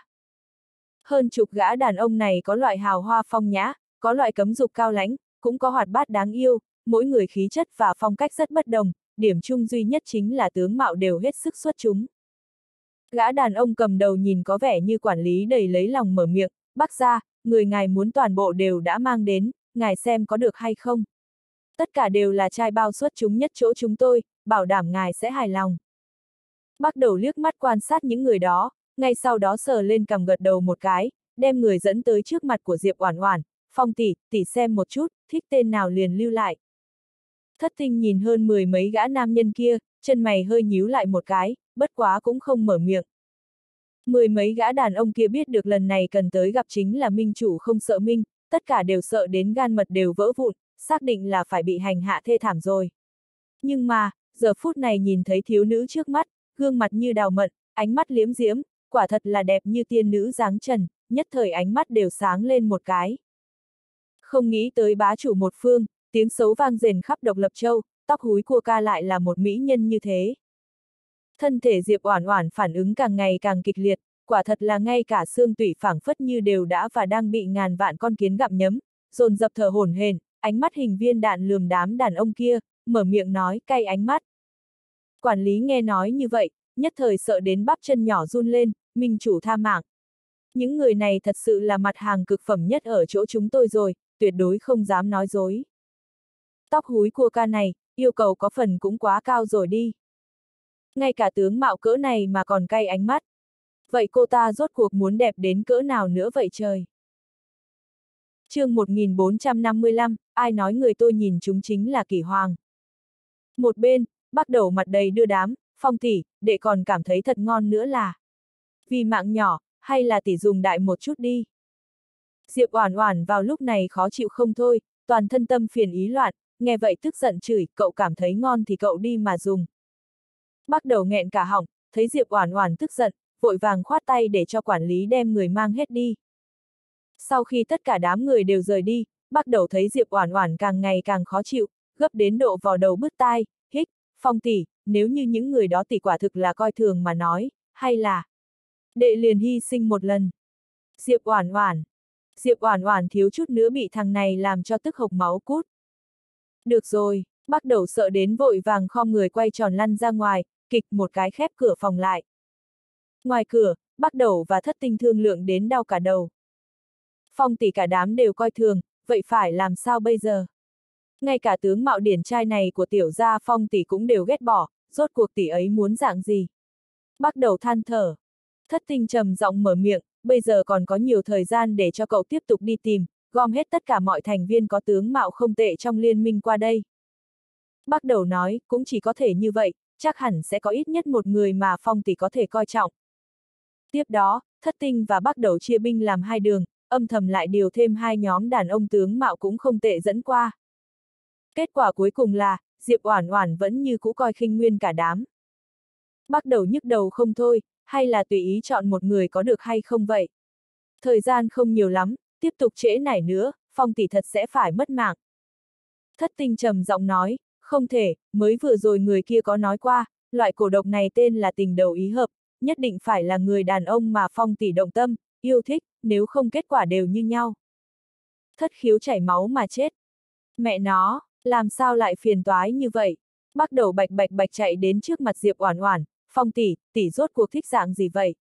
Tỷ nói cho đệ xem. Ánh mắt của Diệp Oản Oản càng ngày càng mơ hồ, ngay cả thần trí đều đã có chút ít không thể khống chế nổi, từng hình ảnh trong đầu lướt qua, tất cả đều chỉ có duy nhất một gương mặt của chàng trai nọ.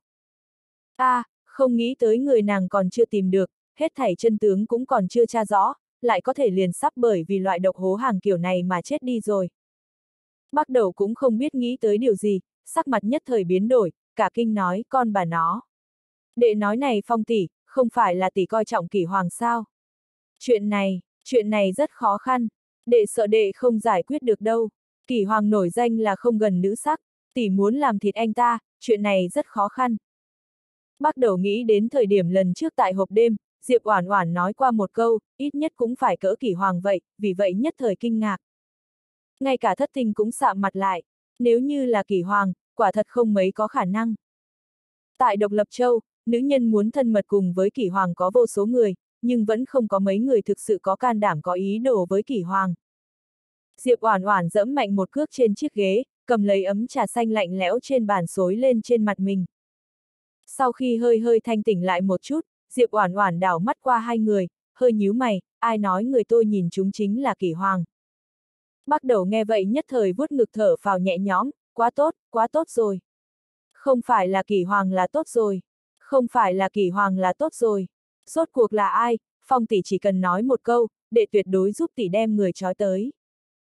Một bên, thất tình cũng gật đầu một cái, phong tỷ, người tỷ muốn là ai? Độc lập châu này, người mà minh chủ không sợ minh mong muốn, còn không có mấy ai dám không đến, coi như là trực tiếp cưỡng đoạt đem về cũng không thành vấn đề.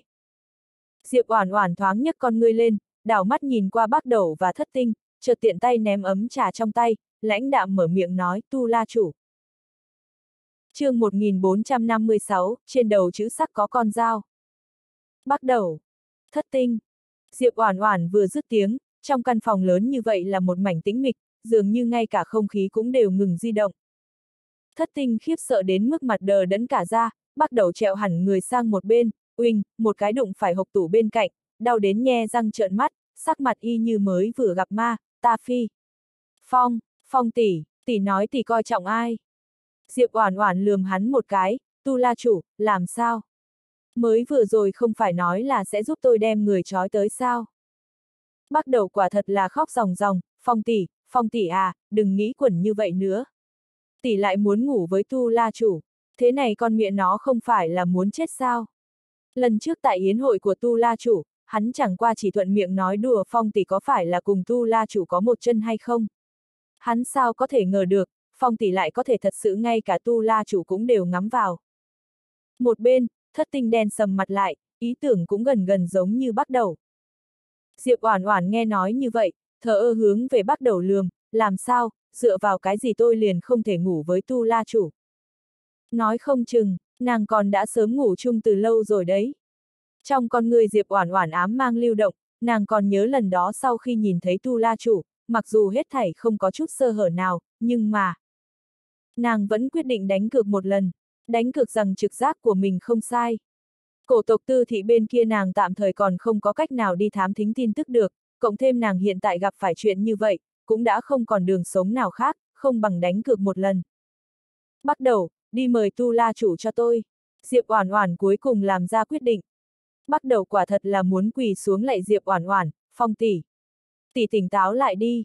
Trên đầu chữ sắc có con dao. Sao chữ xe pi nhanh, xe sắc đẹp, ở trên phần đầu có bộ dao pi nhanh, dao con đao ghép lại mà thành. Mặc dù hắn vẫn luôn biết Phong tỷ là một người xem trọng nhan sắc, yêu thích trai đẹp, nhưng không nghĩ tới.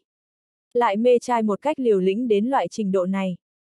Nói nhiều lời như vậy, bảo cậu đi liền đi, tôi tự nhiên có dụng ý của tôi. Diệp Oản Oản tức giận nói. Bắt đầu, tỷ có mưu đồ gì vậy? Còn không phải là đầu óc háo sắc trỗi dậy rồi hay sao? Bắt đầu vừa ói hỏng bét vừa bị Diệp Oản Oản một cước đạp văng ra ngoài. Không còn cách nào khác, bắt đầu cùng thất tinh chỉ có thể rời khỏi nhà, sắc mặt người này so với người kia còn khó coi hơn.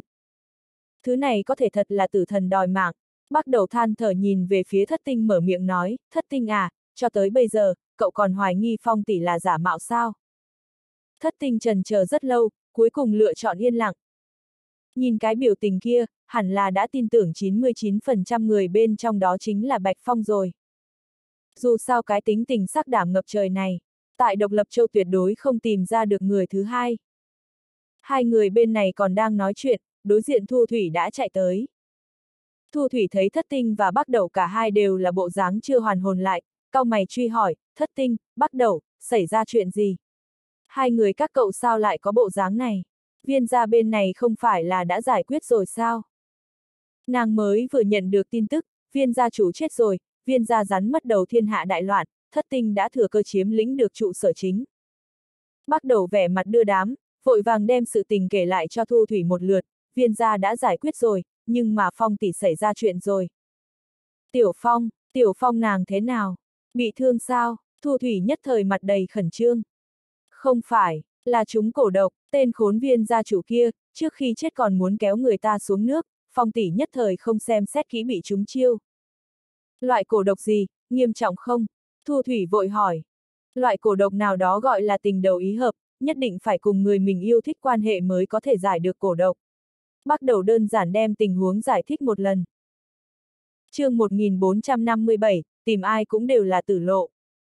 Thu Thủy nghe xong nhất thời cười thở phào nhẹ nhõm, chuyện này còn không đơn giản sao, nàng đem Kỷ Hoàng gọi đến là được. Bất quá quan hệ giữa Kỷ Hoàng và Tiểu Phong cần phải giữ bí mật, cho nên nàng không trực tiếp nói với thất tinh và bắt đầu, chỉ mở miệng nói, vậy tôi liền đi tìm người. Bắt đầu còn chưa kịp nói chuyện phía sau, Thu Thủy đã nhanh chân chạy đi xa xa. Ặc, à, Thu Thủy đi tìm ai vậy trời? Cô ấy có biết người phong tỷ coi trọng là tu la chủ hay không? Bắt đầu đến bây giờ bắp chân nhỏ vẫn còn đang run, lẩm bẩm oán thầm nói, tu la chủ là không có khả năng rồi, đời này cũng không có khả năng đâu. Trừ phi Thu Thủy có thể mời được kỷ hoàng tới, may ra còn có thể khiến phong tỷ thay đổi chủ ý, tìm được tình yêu mới. Bất quá, làm sao có thể được, hắn quả thực là đang nằm mơ sao. Hai vị đại lão này, đi tìm ai cũng đều là tử lộ có được hay không. Cùng lúc đó, trong một đại điện gần viên gia khu Bắc. Bên trên thượng tọa, một đôi con ngươi lạnh giá thấu xương của người đàn ông làm cho người ta kinh hãi khiếp sợ. Chủ tử, không sợ minh công kích viên gia, bây giờ viên gia đang hướng về chúng ta cầu xin giúp đỡ. Một vị lão giả tóc trắng đang đứng ở bên dưới, khom người, mở miệng nói. Viên gia này, số lượng tiến cống hàng tháng đối với Atula không ít, dĩ nhiên là đã lấy được sự che chở của Atula. Bây giờ lại có thế lực tấn công viên gia, cũng tương đương hung hăng và thẳng một cái vào mặt của Atula. Chỉ chốc lát sau, nam nhân trên thượng tọa chậm rãi đứng dậy, đôi con người thâm thúy toát ra hàn quang khó hiểu. Không cần để ý.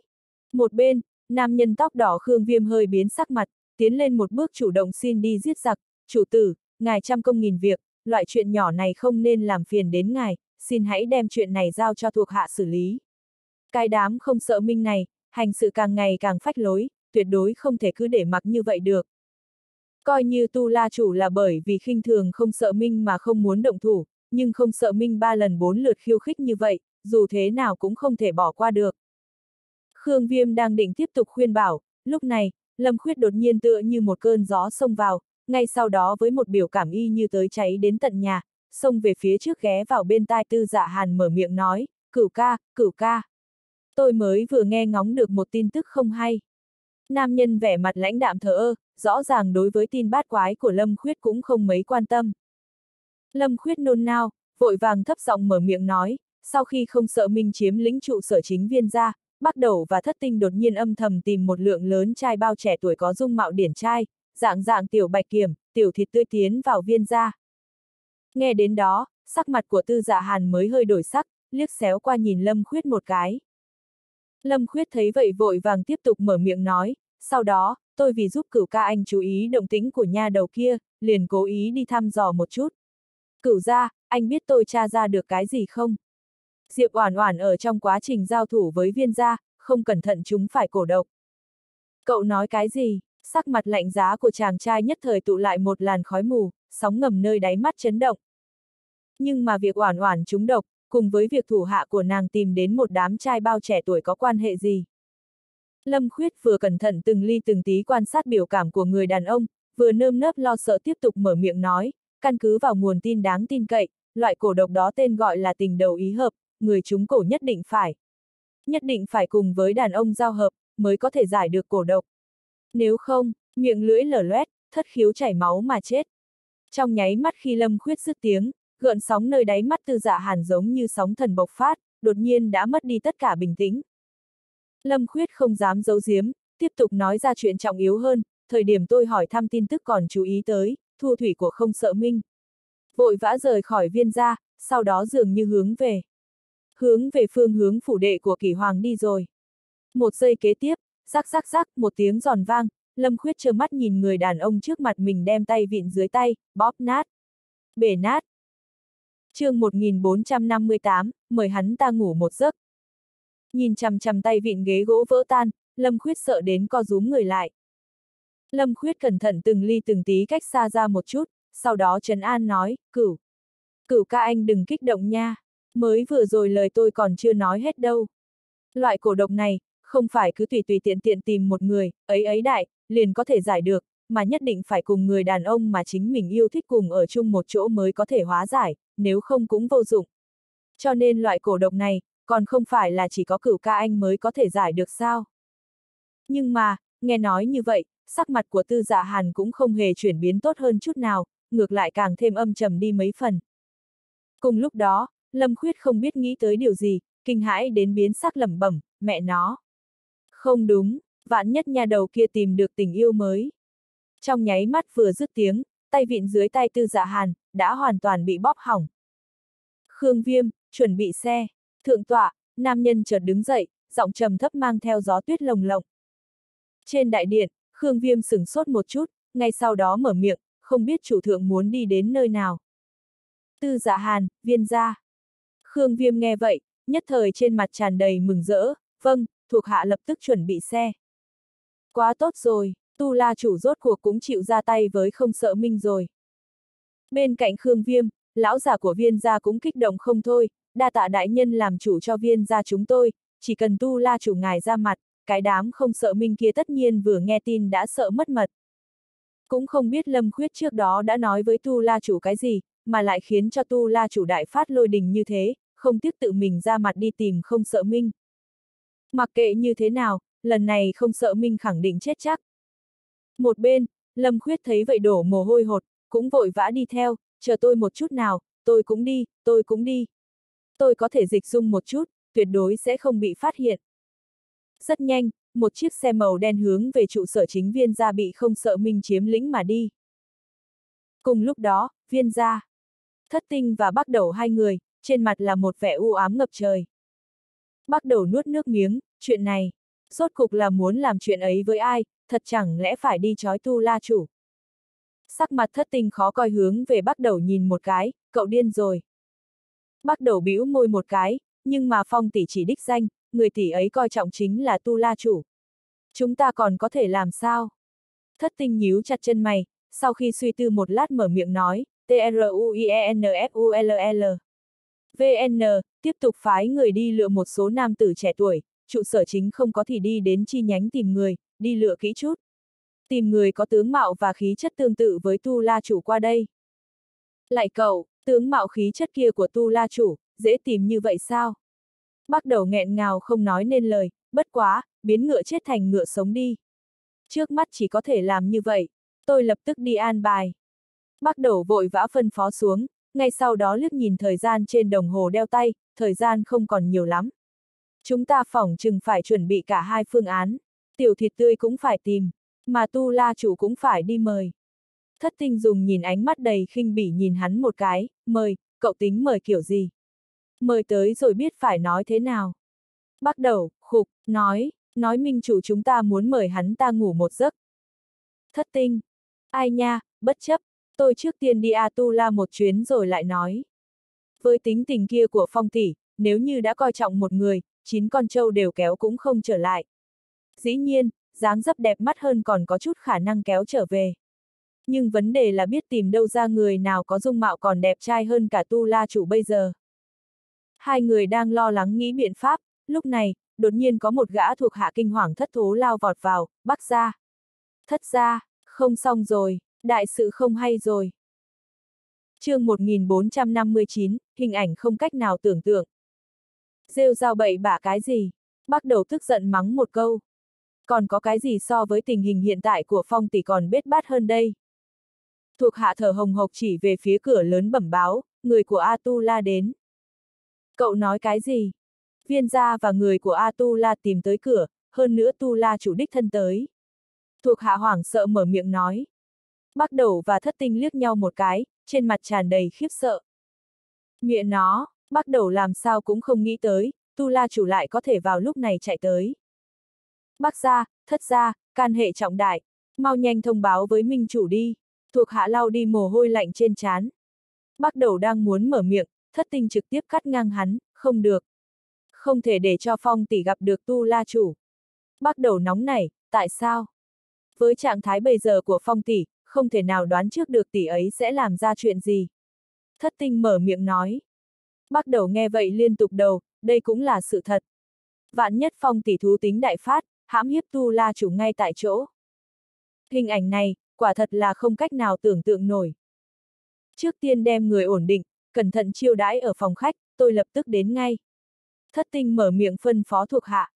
Thuộc hạ gật đầu, vội vã lĩnh mệnh rời đi. Bắt đầu quả thật là muốn phát điên, a a a. Tu la chủ lại có thể tự mình tới cửa, sẽ không thật sự muốn làm thịt không sợ minh chúng ta đấy chứ. Thất tinh lườm hắn một cái, bây giờ mới biết sợ, vậy thì sớm đã làm gì? Trước hắn đã không tán thành ra tay, chính là bắt đầu suối bảy phong tỷ hành động. Bắt đầu lầu bầu, tôi làm sao biết sẽ biến thành như vậy? Bây giờ phải mau nghĩ cách nên làm thế nào đi. Thất tinh, trước tiên đi do thám tình hình, nhớ ngàn vạn lần chớ để cho phong tỷ biết tu la chủ đã đến rồi. Hai người sau khi bàn bạc một chút, lập tức đuổi về phía phòng khách trước mặt. Chỉ thấy tu la chủ quả nhiên đích thân đến, bên cạnh là mấy vị trưởng lão viên gia, Khương Viêm cùng với một người đàn ông có bộ dáng như hộ vệ. Tu la chủ đại giá Quang Lâm, không từ xa tiếp đón. Vừa nhìn thấy hai người thất tinh bắt đầu, trưởng lão viên gia lập tức trợn mắt nhìn sang, lý nào lại như vậy? Lại có bộ dáng tư thái của chủ nhà. Nơi này chính là viên gia của chúng ta. Không sợ minh các người đến cửa khiêu khích, giết gia chủ chúng ta, quả thật là khinh người quá đáng. Thất tinh ánh mắt lạnh lùng, lý trưởng lão nói lời ấy là sai rồi, rõ ràng là viên gia các người ức hiếp chi nhánh không sợ minh bọn ta trước, không sợ minh ta chẳng qua chỉ là xuất phát từ mục đích tự vệ. Mà việc viên gia chủ chết càng không liên quan gì đến chúng ta, hắn định hạ độc chúng ta, ngờ đâu không cẩn thận lại hại chết chính mình. Nghe được hai chữ, hạ độc, tư dạ hàn vẫn chưa hề mở miệng, đáy mắt thoáng qua một vệt ánh sáng lạnh lẽo. Người quả thật là nói bậy nói bạ, trưởng lão viên gia tức giận mắng. Thất tinh thần sắc không thay đổi chút nào, thi thể của viên gia chủ vẫn còn ở hậu viện, các ngươi có thể tự mình kiểm tra. Vốn chính là hắn ta tự làm tự chịu, bắt đầu tức giận bất bình mở miệng. Không chỉ như thế, còn làm hại phong tỷ thảm như vậy. Lúc này bên cạnh tư dạ hàn, Khương Viêm lạnh giọng nổi giận nói, các ngươi là cái thứ gì, cũng dám đứng ở chỗ này cùng tu la chủ đại nhân nói chuyện, minh chủ các ngươi đâu. Còn không bảo cô ta đi ra. Thất tinh mở miệng, xin lỗi, minh chủ hôm nay thân thể khó chịu, có chuyện trực tiếp tìm ta là được. Một bên, trưởng lão viên ra cười lạnh, a, à, thân thể khó chịu, ta thấy là đã bị dọa sợ, trốn biệt không dám ra đây chứ gì. Khương Viêm ghé vào bên tai tư dạ hàn mở miệng, chủ thượng, không sợ minh giết viên gia chủ là sự thật. Chuyện này, cô ta nhất định phải giao phó cho hợp lý. Tư dạ hàn lẳng lặng ngồi ở nơi đó, sắc mặt lạnh lẽo kinh người. Tu la chủ đến cửa, Diệp Oản Oản coi như là minh chủ không sợ minh, lại có thể chưa từng xuất hiện. Tình trạng của Oản Oản sợ là so với Lâm Khuyết miêu tả còn nguy hiểm hơn. Chương 1460, trong mắt tất cả đều là tu la chủ đại nhân đấy. Giờ phút này, sắc mặt của Bắc Đầu và Thất Tinh đều không tốt, viên gia cùng A tu la khí thế hung hãn, biểu cảm của tu la chủ lại như là sắp sửa đại khai sát giới.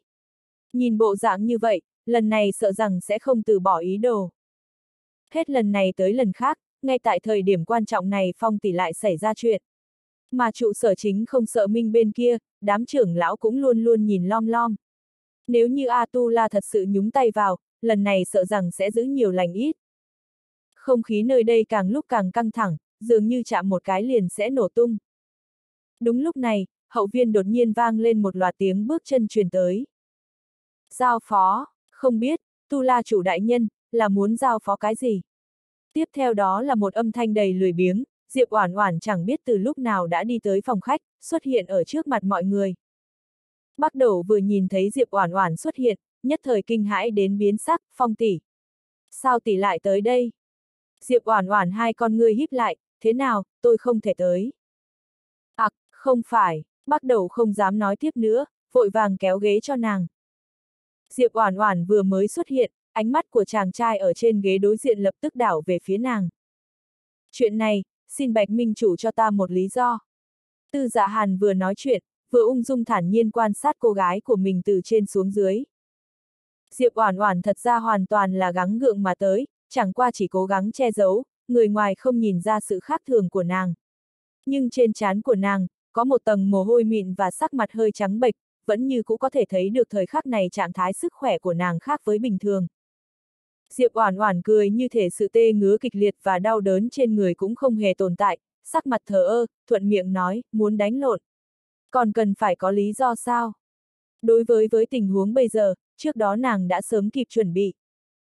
Coi như là người của A Tu La thật sự tìm tới cửa, trong chuyện này, viên gia quả thật là không chiếm lý. Huống chi lạc đà gầy còn hơn ngựa béo, không sợ minh bọn họ cũng không phải là tùy tiện ai liền có thể động. Với tâm tính của Tu La chủ, không thể chỉ vì một viên da nho nhỏ mà cùng không sợ minh vạch mặt. Cái gì nhẹ cái gì nặng, anh ta hẳn là sẽ rất rõ ràng. Từ chuyện lần trước cũng có thể thấy được, tu la chủ người này, xử sự phi thường kín kẽ, có thể nói là giọt nước không lọt. Cho nên đối với chuyện này, nàng cũng không mấy lo lắng. Chẳng qua là, tu la chủ lần này lại có thể sẽ đích thân xuất hiện, ngược lại là nằm ngoài dự liệu của nàng. Chẳng qua chỉ là trùng hợp sao. Nghe được câu này của Diệp Oản Oản, biểu cảm của tất cả mọi người. Trưởng lão viên ra giận đến dựng râu trợn mắt, tu la chủ đại nhân, ngài thấy rồi đó. Cô ta rõ ràng chính là ác ý khiêu khích, không đem ngài coi ra gì. Cô gái cũng không hề ngồi xuống chiếc ghế bắt đầu kéo ra kia, mà lại trực tiếp đặt mông ở bên cạnh chiếc ghế của tư dạ hàn ngồi xuống, một cái tay thờ ơ chống đầu, đồng thời ánh mắt không hề chớp mắt mà rơi vào trên người nam nhân, nhìn thật kỹ anh ta. Hai người chỉ cách nhau một khoảng cách rất nhỏ, có thể mơ hồ cảm nhận được hơi ấm từ thân thể nhau truyền sang. Diệp Oản Oản nghe được lời của trưởng lão viên gia, hơi nhíu mày, không đem tu la chủ coi ra gì. Làm sao ngươi biết chứ? Trong mắt của ta, có thể tất cả đều là tu la chủ đại nhân đấy. Vô luận như thế nào, anh chàng tu la chủ này tới ngược lại thật là đúng lúc. Người đàn ông bên cạnh nàng nghe nói như vậy, nhìn vào con ngươi của thiếu nữ đang phản chiếu lại thân ảnh của chính mình, ánh mắt to tròn mà lộng lẫy, ánh mắt thâm thúy mà nhỏ bé đẹp đến mê dại, ánh mắt dường như không hề có một chút nào né tránh. Mà bên cạnh tu la chủ, anh chàng lâm khuyết đang ngụy trang tiểu hộ vệ không nhịn được ho khan một trận. Tiếp xúc được ánh mắt cảnh cáo của tư dạ hàn mới vội vàng ổn định lại tâm thần. Nhận ra được cô gái đang tiếp cận mình, tư dạ hàn ung dung thản nhiên đem bàn tay đang đặt trên bàn hạ xuống, thả ở trên tay vịn của cái ghế. chương 1461, đem cửa hàn kín lại. Mà Diệp Oản Oản lại rõ ràng không hề có ý thu tay, tiếp tục nói, Tu La chủ đại nhân, ngài nói có đúng không? Một bên, thất tinh hạ thấp giọng nhắc nhở, phong tỷ, không thể.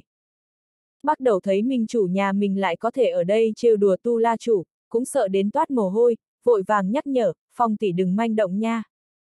Nếu là ở thời điểm kiểu này mạo phạm Tu La chủ, có thể không đỡ nổi đâu. Diệp Oản Oản không nói gì mà chỉ liếc mắt nhìn hai người, ngay sau đó hờ hững mở miệng nói, nhiều người như vậy, nói chuyện cũng không tiện. Tu La chủ đại nhân, không bằng chúng ta đơn độc trò chuyện một chút.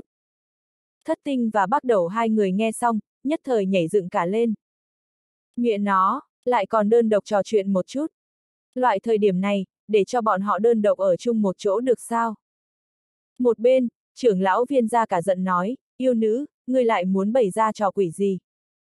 Diệp Oản Oản khẽ cười một tiếng, đang định mở miệng, trong cơ thể lại đột nhiên toát lên một trận đau đớn kịch liệt, dưới tình huống bất ngờ không kịp đề phòng, lớp ngụy trang của Diệp Oản Oản chợt tan vỡ, sắc mặt tái nhợt như tờ giấy.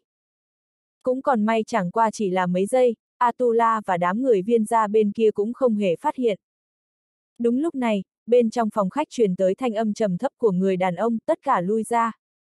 Khương Viêm nghe vậy đầy nóng nảy, chủ thượng, không thể. Vạn nhất cô ta gây bất lợi cho ngài. Lâm khuyết dịch dung thành thị vệ, lúc này mở miệng nói, Khương Viêm, cản rỡ. Ngay cả mệnh lệnh của chủ thượng cậu cũng dám cãi lại sao? Cậu đang hoài nghi năng lực của tu la chủ sao? Cảm thấy chủ thượng không tốt sao? Còn không lui xuống. Lâm khuyết vừa nói xong, vừa âm thầm than hỏng bét trong lòng. Thích, hắn biết ngay là sẽ như vậy mà. Mới vừa rồi nha đầu kia chẳng qua chỉ biểu hiện không thoải mái một chút, cửu ca ngay lập tức sẽ liền không hề để tâm tới nguyên tắc nguyên tẹo gì nữa cả. Cuối cùng, Khương Viêm không còn cách nào, chỉ có thể cắn răng lui ra. Trưởng lão viên gia cũng nối đuôi rời đi. Tu la chủ là người nào, hắn cũng không tin nữ nhân này còn có thể trêu ghẹo đùa bỡn. Đám người A Tu La bên kia rất nhanh lĩnh mệnh lui ra. Thấy thất tinh cùng bắt đầu còn đứng ở nơi đó, Diệp Oản Oản lườm hai người một cái, ung dung mở miệng, còn ngớ ra đó làm cái gì. Cảm giác mình không đủ sáng. Thất tinh. Bắt đầu. Bóng đèn bị ghét bỏ vì làm kỳ đà cản mũi, oa oa oa. Con người bắt đầu chuyển động, không biết nghĩ tới điều gì, tiến tới bên tai Diệp Oản Oản, "Phong tỷ, tỷ có thể tới đây một chút không?" Để có lời muốn nói với tỷ. Diệp Oản Oản đi theo bắt đầu sang một bên, bắt đầu hạ thấp giọng ghé miệng vào tai nàng nói, "Phong tỷ, có cần đệ giúp tỷ một tay hay không?" để có một ý kiến hay. Diệp Oản Oản nhìn hắn một cái, "Cậu muốn giúp thế nào?" Bắt đầu đầy ám muội nói, "Như vậy, đệ phái người bỏ chút thuốc mê ở trong nước trà của Tu La chủ." Như vậy hắn ta còn không phải là liền để cho tỷ muốn làm gì thì làm sao? Phong tỷ, đệ có phải là rất cơ trí hay không? Diệp Oản Oản thản nhiên mà đảo mắt nhìn hắn một cái, hai con ngươi nheo lại đầy nguy hiểm, cậu cho rằng một gã đàn ông mà tôi muốn ngủ cùng, còn cần phải bỏ thuốc cho hắn ta, thật sao? Bắt đầu nhất thời sợ đến lau mồ hôi, không phải, không phải, không phải. Đệ không phải là có ý này. Phong tỷ của đệ chim sa cá lặn, hoa nhường nguyệt hẹn. Nếu như là vừa ý một người đàn ông nào, nào cần ai giúp gì, đều có thể thu vào tay. Bắt đầu cũng không nói ra rằng, nhưng người tỷ hết lần này tới lần khác coi trọng, chính là Tu La chủ đấy.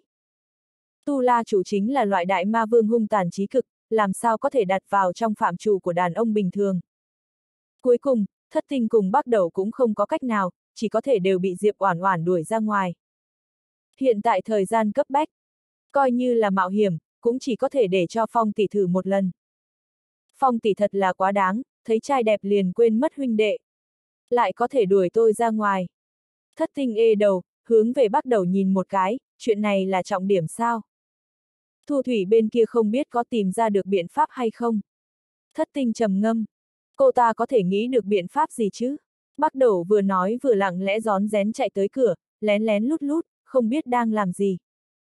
Thất tinh đi tới, Cao mày hỏi, cậu làm gì vậy?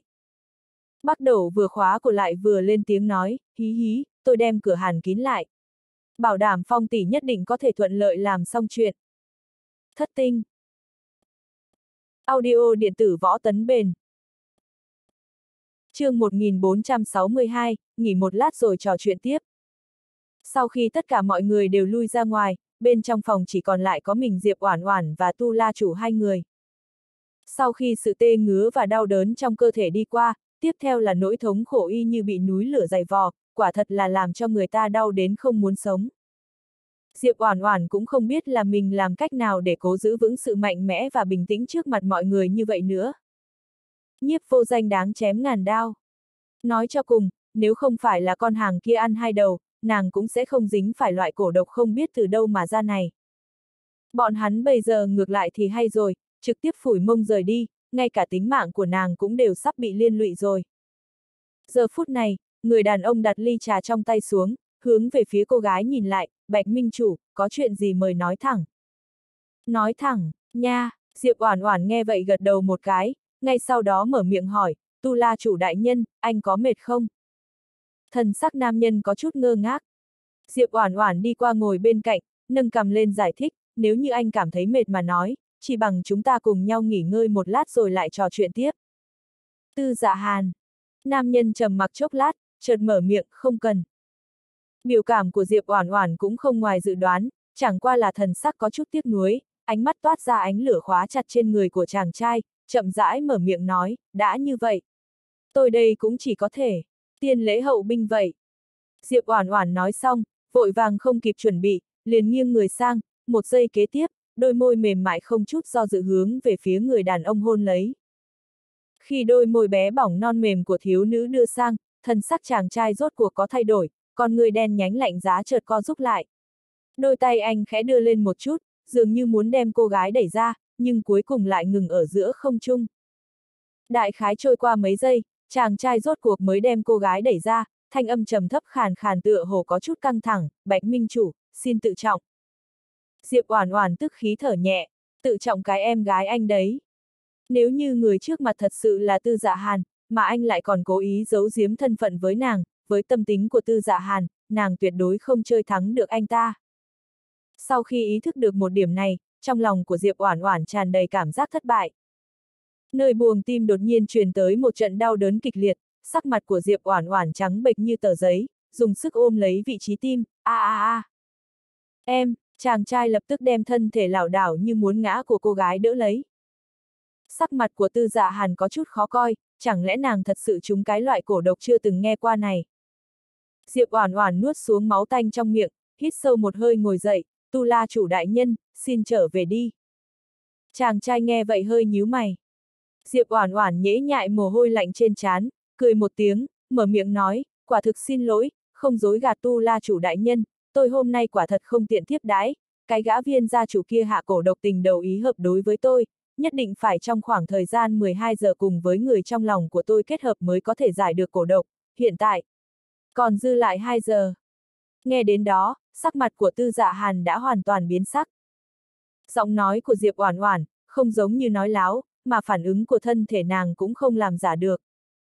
Nếu như bây giờ anh không giúp nàng giải độc, nàng có thể sẽ chết. Nếu như anh giúp nàng giải độc, thân phận rất có thể sẽ bị bại lộ. Nàng hiện nay đã cực kỳ hoài nghi anh. Diệp Oản Oản, quả thực xin lỗi, tôi có thể phải đi tìm người giải độc trước. Lời này của Diệp Oản Oản, quả thật là không có gì khác biệt với nói, tôi muốn trước tiên muốn đi tìm một người mình yêu thích để giải độc cả. Ngón tay đang đỡ lấy cô gái của Tư Dạ Hàn đột nhiên nắm chặt. Đúng lúc này, nơi cửa giường như truyền tới tiếng người dâm ran. Bắt đầu, thất tinh, tiểu phong đâu, hai người các cậu đứng ở chỗ này làm cái gì? Cánh cửa này làm sao lại khóa lại vậy? Thu Thủy vội vã chạy tới, nhìn thấy mắt tình cảnh trước mắt, không hiểu liền dò hỏi. chương 1463, đến giúp cô giải độc. Minh chủ các người như thế nào rồi? Người đàn ông bên cạnh Thu Thủy cũng dò hỏi. Bắt đầu nhìn thấy người đàn ông bên cạnh Thu Thủy mở lời, nhất thời giống như nghe xét đánh ngang tai, con. Con miệng nó. Kỳ, kỳ hoàng. Thu Thủy lại có thể thật sự đem kỳ hoàng tìm tới. Không chỉ riêng bắt đầu sợ ngây người, biểu cảm của thất tinh cũng có chút kinh ngạc. Còn ngớ ra đó làm cái gì vậy? Mau nhanh dẫn chúng tôi đi gặp Tiểu Phong. Thời gian không còn nhiều lắm. Thu Thủy lo lắng thúc giục, Tiểu Phong có phải là ở bên trong hay không? À, đúng vậy, nhưng mà, bắt đầu vẫn ở chỗ cũ thử người ra. Vậy mau nhanh mở cửa ra đi. Thu Thủy thúc giục. Thu Thủy, cô cũng quá trâu bò rồi đi. Cô làm sao đem kỷ hoàng kéo tới được vậy? bắt đầu đem Thu Thủy kéo sang một bên hỏi. Cậu chớ xía vào việc tôi làm cách nào gọi tới, tranh thủ thời gian để cho chúng tôi gặp Tiểu Phong đi. Bắt đầu lặng lẽ hướng về phía bên trong căn phòng kia nhìn một cái, thần sắc khổ sở nói, không được. Phong tỷ hiện tại có khả năng không được tiện cho lắm. Thu Thủy vội la lên, không tiện, có ý gì, đừng nói là các cậu tùy tiện tìm đại một người cho Tiểu Phong đấy chứ. Quả thật là nghịch ngợm mà, không phải là nhất định phải là, ấy ấy, cùng với người trong lòng mới giải được độc sao. Không đúng, không phải là tùy tiện tìm đại một người, mà là, bắt đầu đã không biết nên nói như thế nào. Chẳng lẽ hắn phải nói bọn họ đem lừa tu la chủ vào bên trong sao? Soảng! Đúng lúc này, bên trong phòng đột nhiên phát ra một tiếng đồ vật gì đó vỡ tan. Tiểu Phong, Tiểu Phong sao vậy? Bắt đầu, các cậu rốt cuộc đang làm cái gì? Mau nhanh mở cửa ra. Thu Thủy lập tức từ trên người bắt đầu giành lấy chìa khóa, sau đó vội vã mở cửa ra. Sau khi cửa mở, đám người Thu Thủy và Kỳ Hoàng lập tức đi vào. Bên trong phòng là mảnh vỡ của ly trà sứ vỡ tan đầy trên mặt đất, Diệp Oản Oản sắc mặt suy yếu trắng bệch, người đàn ông bên cạnh đang cẩn thận đỡ lấy thân thể của nàng. Sau khi nhìn thấy người đàn ông bên trong căn phòng, Thu Thủy trực tiếp sợ ngây người, ạc. Tu, Tu La Chủ. Tại sao Tu La Chủ lại ở chỗ này? Thu Thủy trợn mắt há hốc mồm hướng về phía bắt đầu và thất tinh nhìn lại, con mắt đầy nghi vấn. Thất tinh, Tu La Chủ đến cửa là vì chuyện của viên gia. Bắt đầu thấp giọng nói, Thu Thủy, cô cũng biết rồi đấy. Tình hình của Phong tỷ khẩn cấp, cho nên chúng tôi liền muốn. Muốn để cho Tu La Chủ giúp Phong tỷ giải độc đấy. Thu Thủy sạm mặt lại, các cậu điên rồi. Bắt đầu lá gan của cậu làm sao lại lớn như vậy? Bắt đầu quả thật là oan uổng đến nghẹn ngào rồi, người to gan tuyệt đối không phải là hắn, có được không? Bất quá, nhìn thấy hai người này áo quần hoàn hảo, chắc là vẫn chưa phát sinh cái gì. Cũng còn may là minh chủ nhà hắn còn có chút lý trí. Diệp Oản Oản nhìn thấy người tiến vào là Kỷ Hoàng, vẻ mặt cũng có chút kinh ngạc, Kỷ Tu Nhiễm. Anh, sao anh lại tới đây? Làm bậy rồi, nhìn dáng dấp, là Thu Thủy đem anh ta tìm đến đây. Kỷ Tu Nhiễm xuất hiện, nàng làm sao lại có loại cảm giác bị bắt gian tại trận vậy chứ? Nhìn thấy người tới là ai, sắc mặt của người đàn ông bên cạnh Diệp Oản Oản nhất thời âm vụ thêm vài phần. Sau lần trước anh cũng có để Lâm Khuyết đi nghe ngóng qua, cũng không tra được ra Kỷ Hoàng và Bạch Phong có quan hệ gì. Nhưng nhìn thái độ của Kỷ Hoàng đối với Oản Oản, tuyệt đối sẽ có ẩn tình gì đó. Ít nhất, Kỷ Hoàng cùng với Oản Oản trước khi mất trí nhớ, quan hệ khẳng định là không bình thường. Cùng lúc đó, ánh mắt của Kỳ Tu Nhiễm cũng hướng về phía Tư Dạ Hàn nhìn lại, sau khi yên lặng một hồi lâu, anh ta nhìn về phía Diệp Oản Oản, trên mặt từ đầu đến cuối treo một nụ cười như có như không, Phong khinh vân đạm mà trả lời chẳng qua là đến giúp cô giải độc. Giúp nàng, giải độc. Trong nháy mắt khi kỳ tu nhiễm dứt tiếng, cả căn phòng đều lâm vào trong một sự yên lặng quỷ dị. chương 1464, hy vọng dùng phương thức khác cũng có thể. Nhiệt độ nơi đáy mắt tư dạ hàn trong nháy mắt tuột xuống, một mảnh trời đông giá rét. Về phần Diệp Oản Oản, cả người đều mộng bức rồi. Giúp nàng giải độc. Bất quá, với quan hệ giữa Bạch Phong và Kỳ Hoàng, lời này dường như cũng không có gì sai trái. Bắt đầu ho khan kịch liệt một trận, cái, cái gì? Đệt, Kỳ Hoàng lại không chỉ có thể được mời tới, mà còn muốn giúp Phong tỷ giải độc. Hắn rốt cuộc có biết lời này là có ý gì hay không? Khóe miệng người đàn ông hơi hơi dương lên, treo nụ cười thản nhiên, có vấn đề sao? Diệp Oản Oản. Diệp Oản Oản nào dám nói có vấn đề? Nếu dám nói, thân phận Bạch Phong của nàng chẳng phải là sẽ bị bại lộ rồi sao? Khi mà tình cảnh ở đây lâm vào trong một sự lúng túng khó xử, một lão già từ phía sau đi tới, mở miệng hỏi, xin hỏi, người chúng cổ độc là vị nào? Kỷ Hoàng tiến lên đón lão già, là vị này, làm phiền thích lão rồi. Thích, vị lão tiên sinh này là, Diệp Oản Oản lão già tóc trắng trước mặt, vẻ mặt có chút mê mang. Là thầy thuốc tôi mời tới giải độc cho cô, thích lão tinh thông giải các loại cổ độc. kỳ Hoàng trả lời.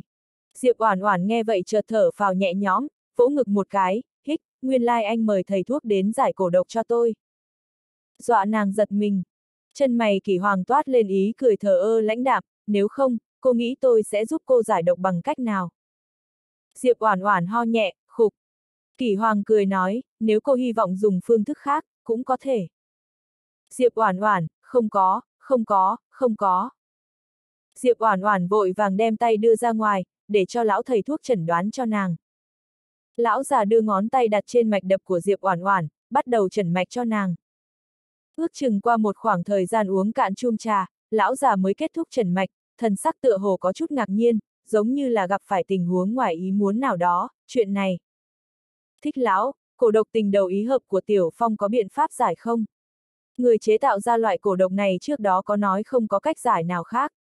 Thu Thủy lo lắng mở miệng hỏi. Lão giả tóc trắng sờ sờ tròm dâu, sắc mặt có chút ngưng trọng, nguyên bản vẫn có phương pháp có thể giải, nhưng mà thứ bạch minh chủ chúng phải. Căn bản cũng không phải là cổ độc tình đầu ý hợp. Bắt đầu, cái gì? Không phải là cổ độc tình đầu ý hợp, vậy là cái gì? Trong lúc nhất thời, tất cả mọi người trong phòng đều hướng về phía lão già. Bạch Minh chủ chúng không phải là cổ độc tình đầu ý hợp, mà là vua của các loại cổ độc, tình cổ. Lão già mở miệng nói. Bắt đầu và thất tinh mặt đầy kinh ngạc, tình cổ. Diệp Oản Oản suy yếu đỡ mặt bàn, tình cổ là cái gì? Diệp Oản Oản cũng không chú ý tới, thời điểm Tư Dạ Hàn nghe được hai chữ, tình cổ, vẻ mặt dường như khẽ biến. Kỷ Hoàng hướng về phía cô gái nhìn một cái, ngay sau đó mở miệng giải thích, người biết đến cổ độc tình đầu ý hợp có lẽ không nhiều. Nhưng mà, tình cổ được coi như là vua của các loại cổ độc, ngược lại có không ít người biết đến. Rất nhiều người thuộc dân tộc cổ miêu phải dùng cả một đời mới có thể thành công luyện chế ra được tình cổ một lần. Làm sao để giải? Diệp Oản Oản hỏi. Lão già tóc trắng ở bên cạnh mở miệng nói, tình cổ đều là dành cho nữ nhân muốn thể hiện sự trung thủy kháng khít, quyết một lòng với người đàn ông mà mình yêu, cổ độc gốc sẽ ở trên người của chính cô gái, cổ độc nhánh sẽ ở trên người người đàn ông. Trong vòng 3 tháng, nếu như có thể cùng người đàn ông mình yêu kết hợp, mới có thể giữ được tánh mạng. Nếu không, hai người đều sẽ độc phát thân vong. Tư dạ hàn. Diệp Oản Oản nghe xong lời này, quả thật là trợn tròn mắt. Cổ độc tình đầu ý hợp, là chỉ cần nàng thích là được, tình cổ, là đối phương nhất định phải yêu nàng. Một cái có phương pháp giải đơn giản, cái còn lại chính là có yêu cầu cực kỳ khó khăn phức tạp. chương 1465, người đầu tiên tiếp xúc thân mật. Đầu của Diệp Oản Oản có chút choáng váng, hích, không đúng, ông mới vừa nói, cổ độc gốc ở trên người của cô gái, cổ độc nhánh ở trên người của người đàn ông. Cũng không phải là chỉ mình tôi chúng cổ độc sao, vậy cổ độc nhánh kia ở trên người ai? Lão già tóc trắng mở miệng nói, cổ độc nhánh này ở trên người ai, dĩ nhiên là phải hỏi chính Bạch Minh chủ cô rồi, cô hạ độc cho ai? Diệp Oản Oản cạn lời, hỏi tôi, tôi nào biết tôi hạ độc cho người nào chứ? Tôi không hề hạ độc cho ai cả. Chờ một chút. Bỗng nhiên, sắc mặt Diệp Oản Oản đột nhiên biến đổi. Sau khi đi tới viên gia, người chúng cổ, tổng cộng có hai người. Mà trừ mình ra, còn có một người chính là viên gia chủ.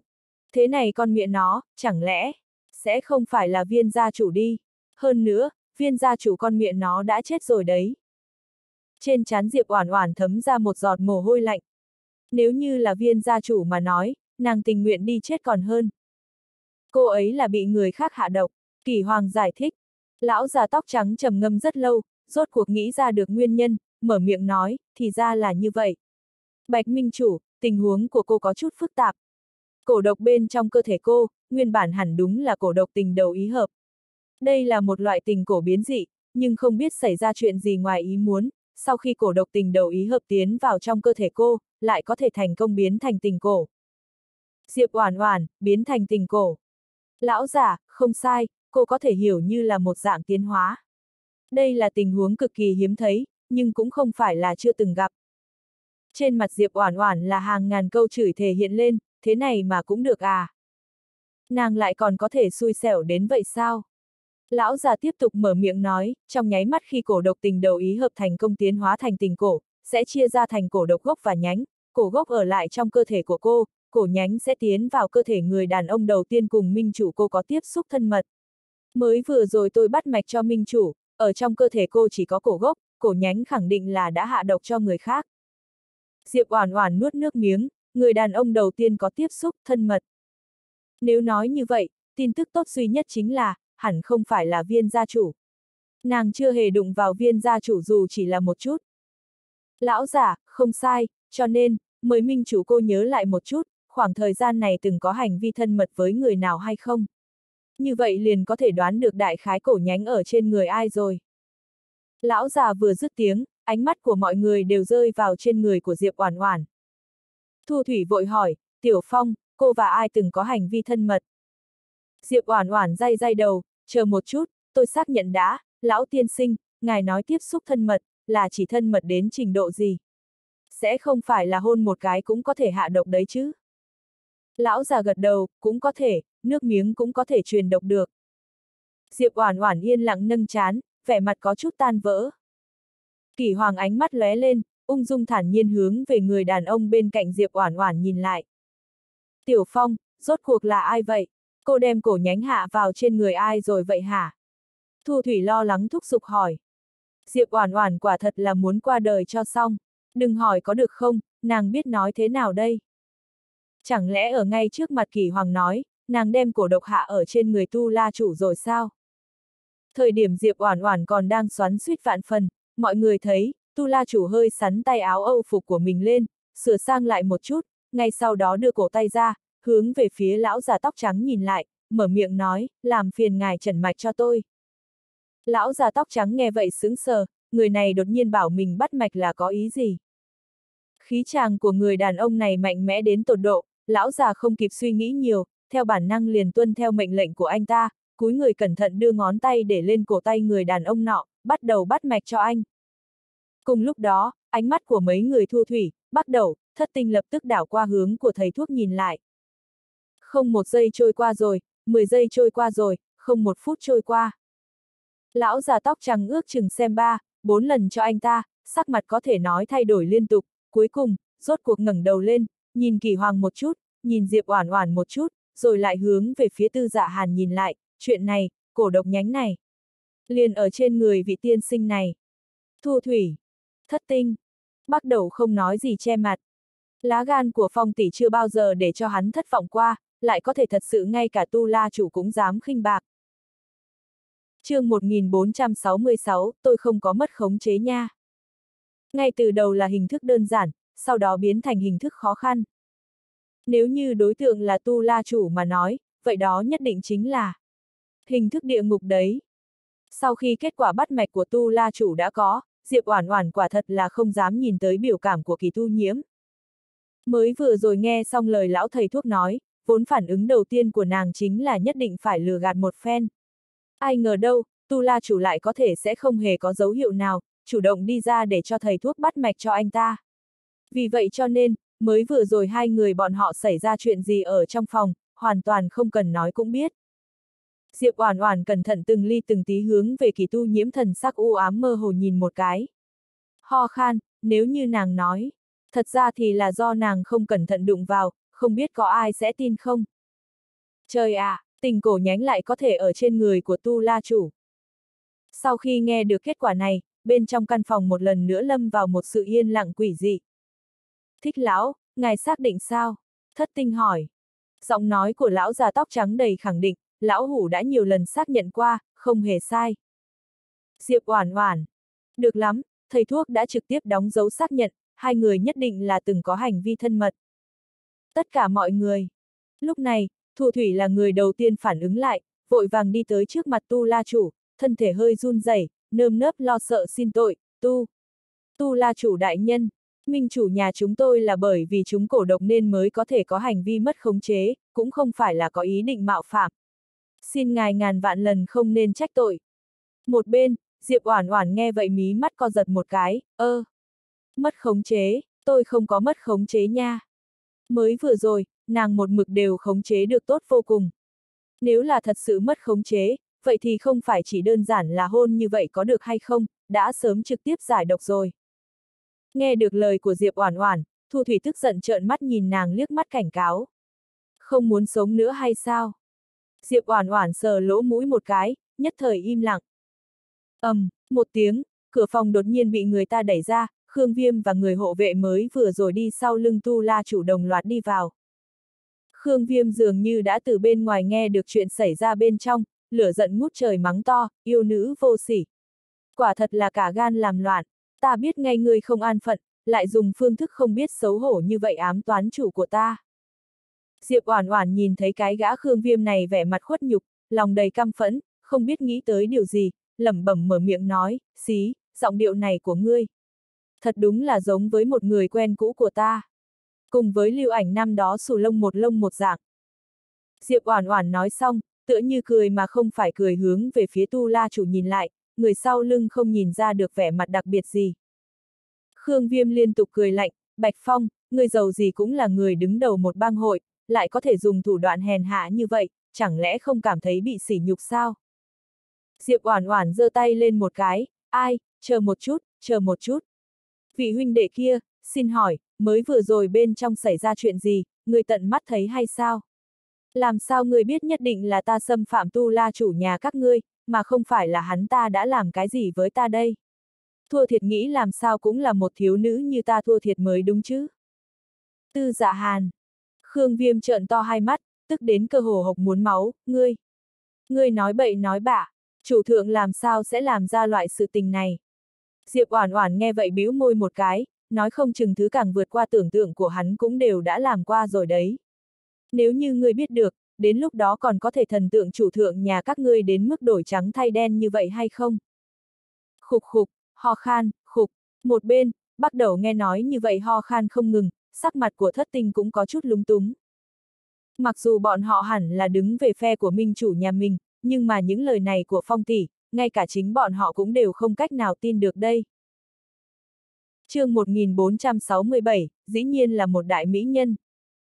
Lúc này, Lâm Khuyết mặc trang phục hộ vệ đi tới giảng hòa, hích, đều tỉnh táo lại một chút, bây giờ không phải là thời điểm để gây gổ, mà phải suy nghĩ một chút làm cách nào giải quyết chuyện này. Nếu không, vô luận là Bạch Minh Chủ, hay là Tu La Chủ, sợ là đều sẽ gặp nguy hiểm đến tánh mạng đấy. Khương Viêm hung hăng lườm Diệp Oản Oản, ngay sau đó nửa quỳ đến trước mặt Tư Dạ Hàn mở miệng, "Chủ thượng yên tâm, trong vòng 3 tháng, thuộc hạ nhất định sẽ tìm được phương pháp giải cổ độc." Diệp Oản Oản cười híp mắt mở miệng, "Vậy thì làm phiền ngươi rồi, dù sao bổn minh chủ cũng đã có người trong lòng rồi." Đã có người trong lòng rồi sao? Ai vậy, ai vậy, ai vậy? Bắt đầu nhất thời tò mò hỏi dồn. Thu Thủy nghe nói như vậy, chợt thở phào nhẹ nhõm, cũng còn may có những lời này của Tiểu Phong, nếu không kỷ hoàng bên kia biết làm sao giao phó bây giờ. Bất quá, sự thật vẫn là quá khó để giải quyết, người trong lòng Tiểu Phong là kỷ hoàng, Tu La chủ cũng tuyệt đối không có khả năng sẽ yêu thích Tiểu Phong. Tình cổ này, phải làm sao giải được mới tốt. Diệp Oản Oản đầu tiên là ung dung thản nhiên hướng về phương hướng của Tu La chủ nhìn một cái, chợt mở miệng trả lời bắt đầu nói, người trong lòng của tôi, dĩ nhiên là một siêu cấp đại mỹ nhân rồi. Hơn nữa, tôi nói gì nghe nấy, ôn nhu đầy đủ, sẽ chưa bao giờ lừa dối tôi, phản bội tôi.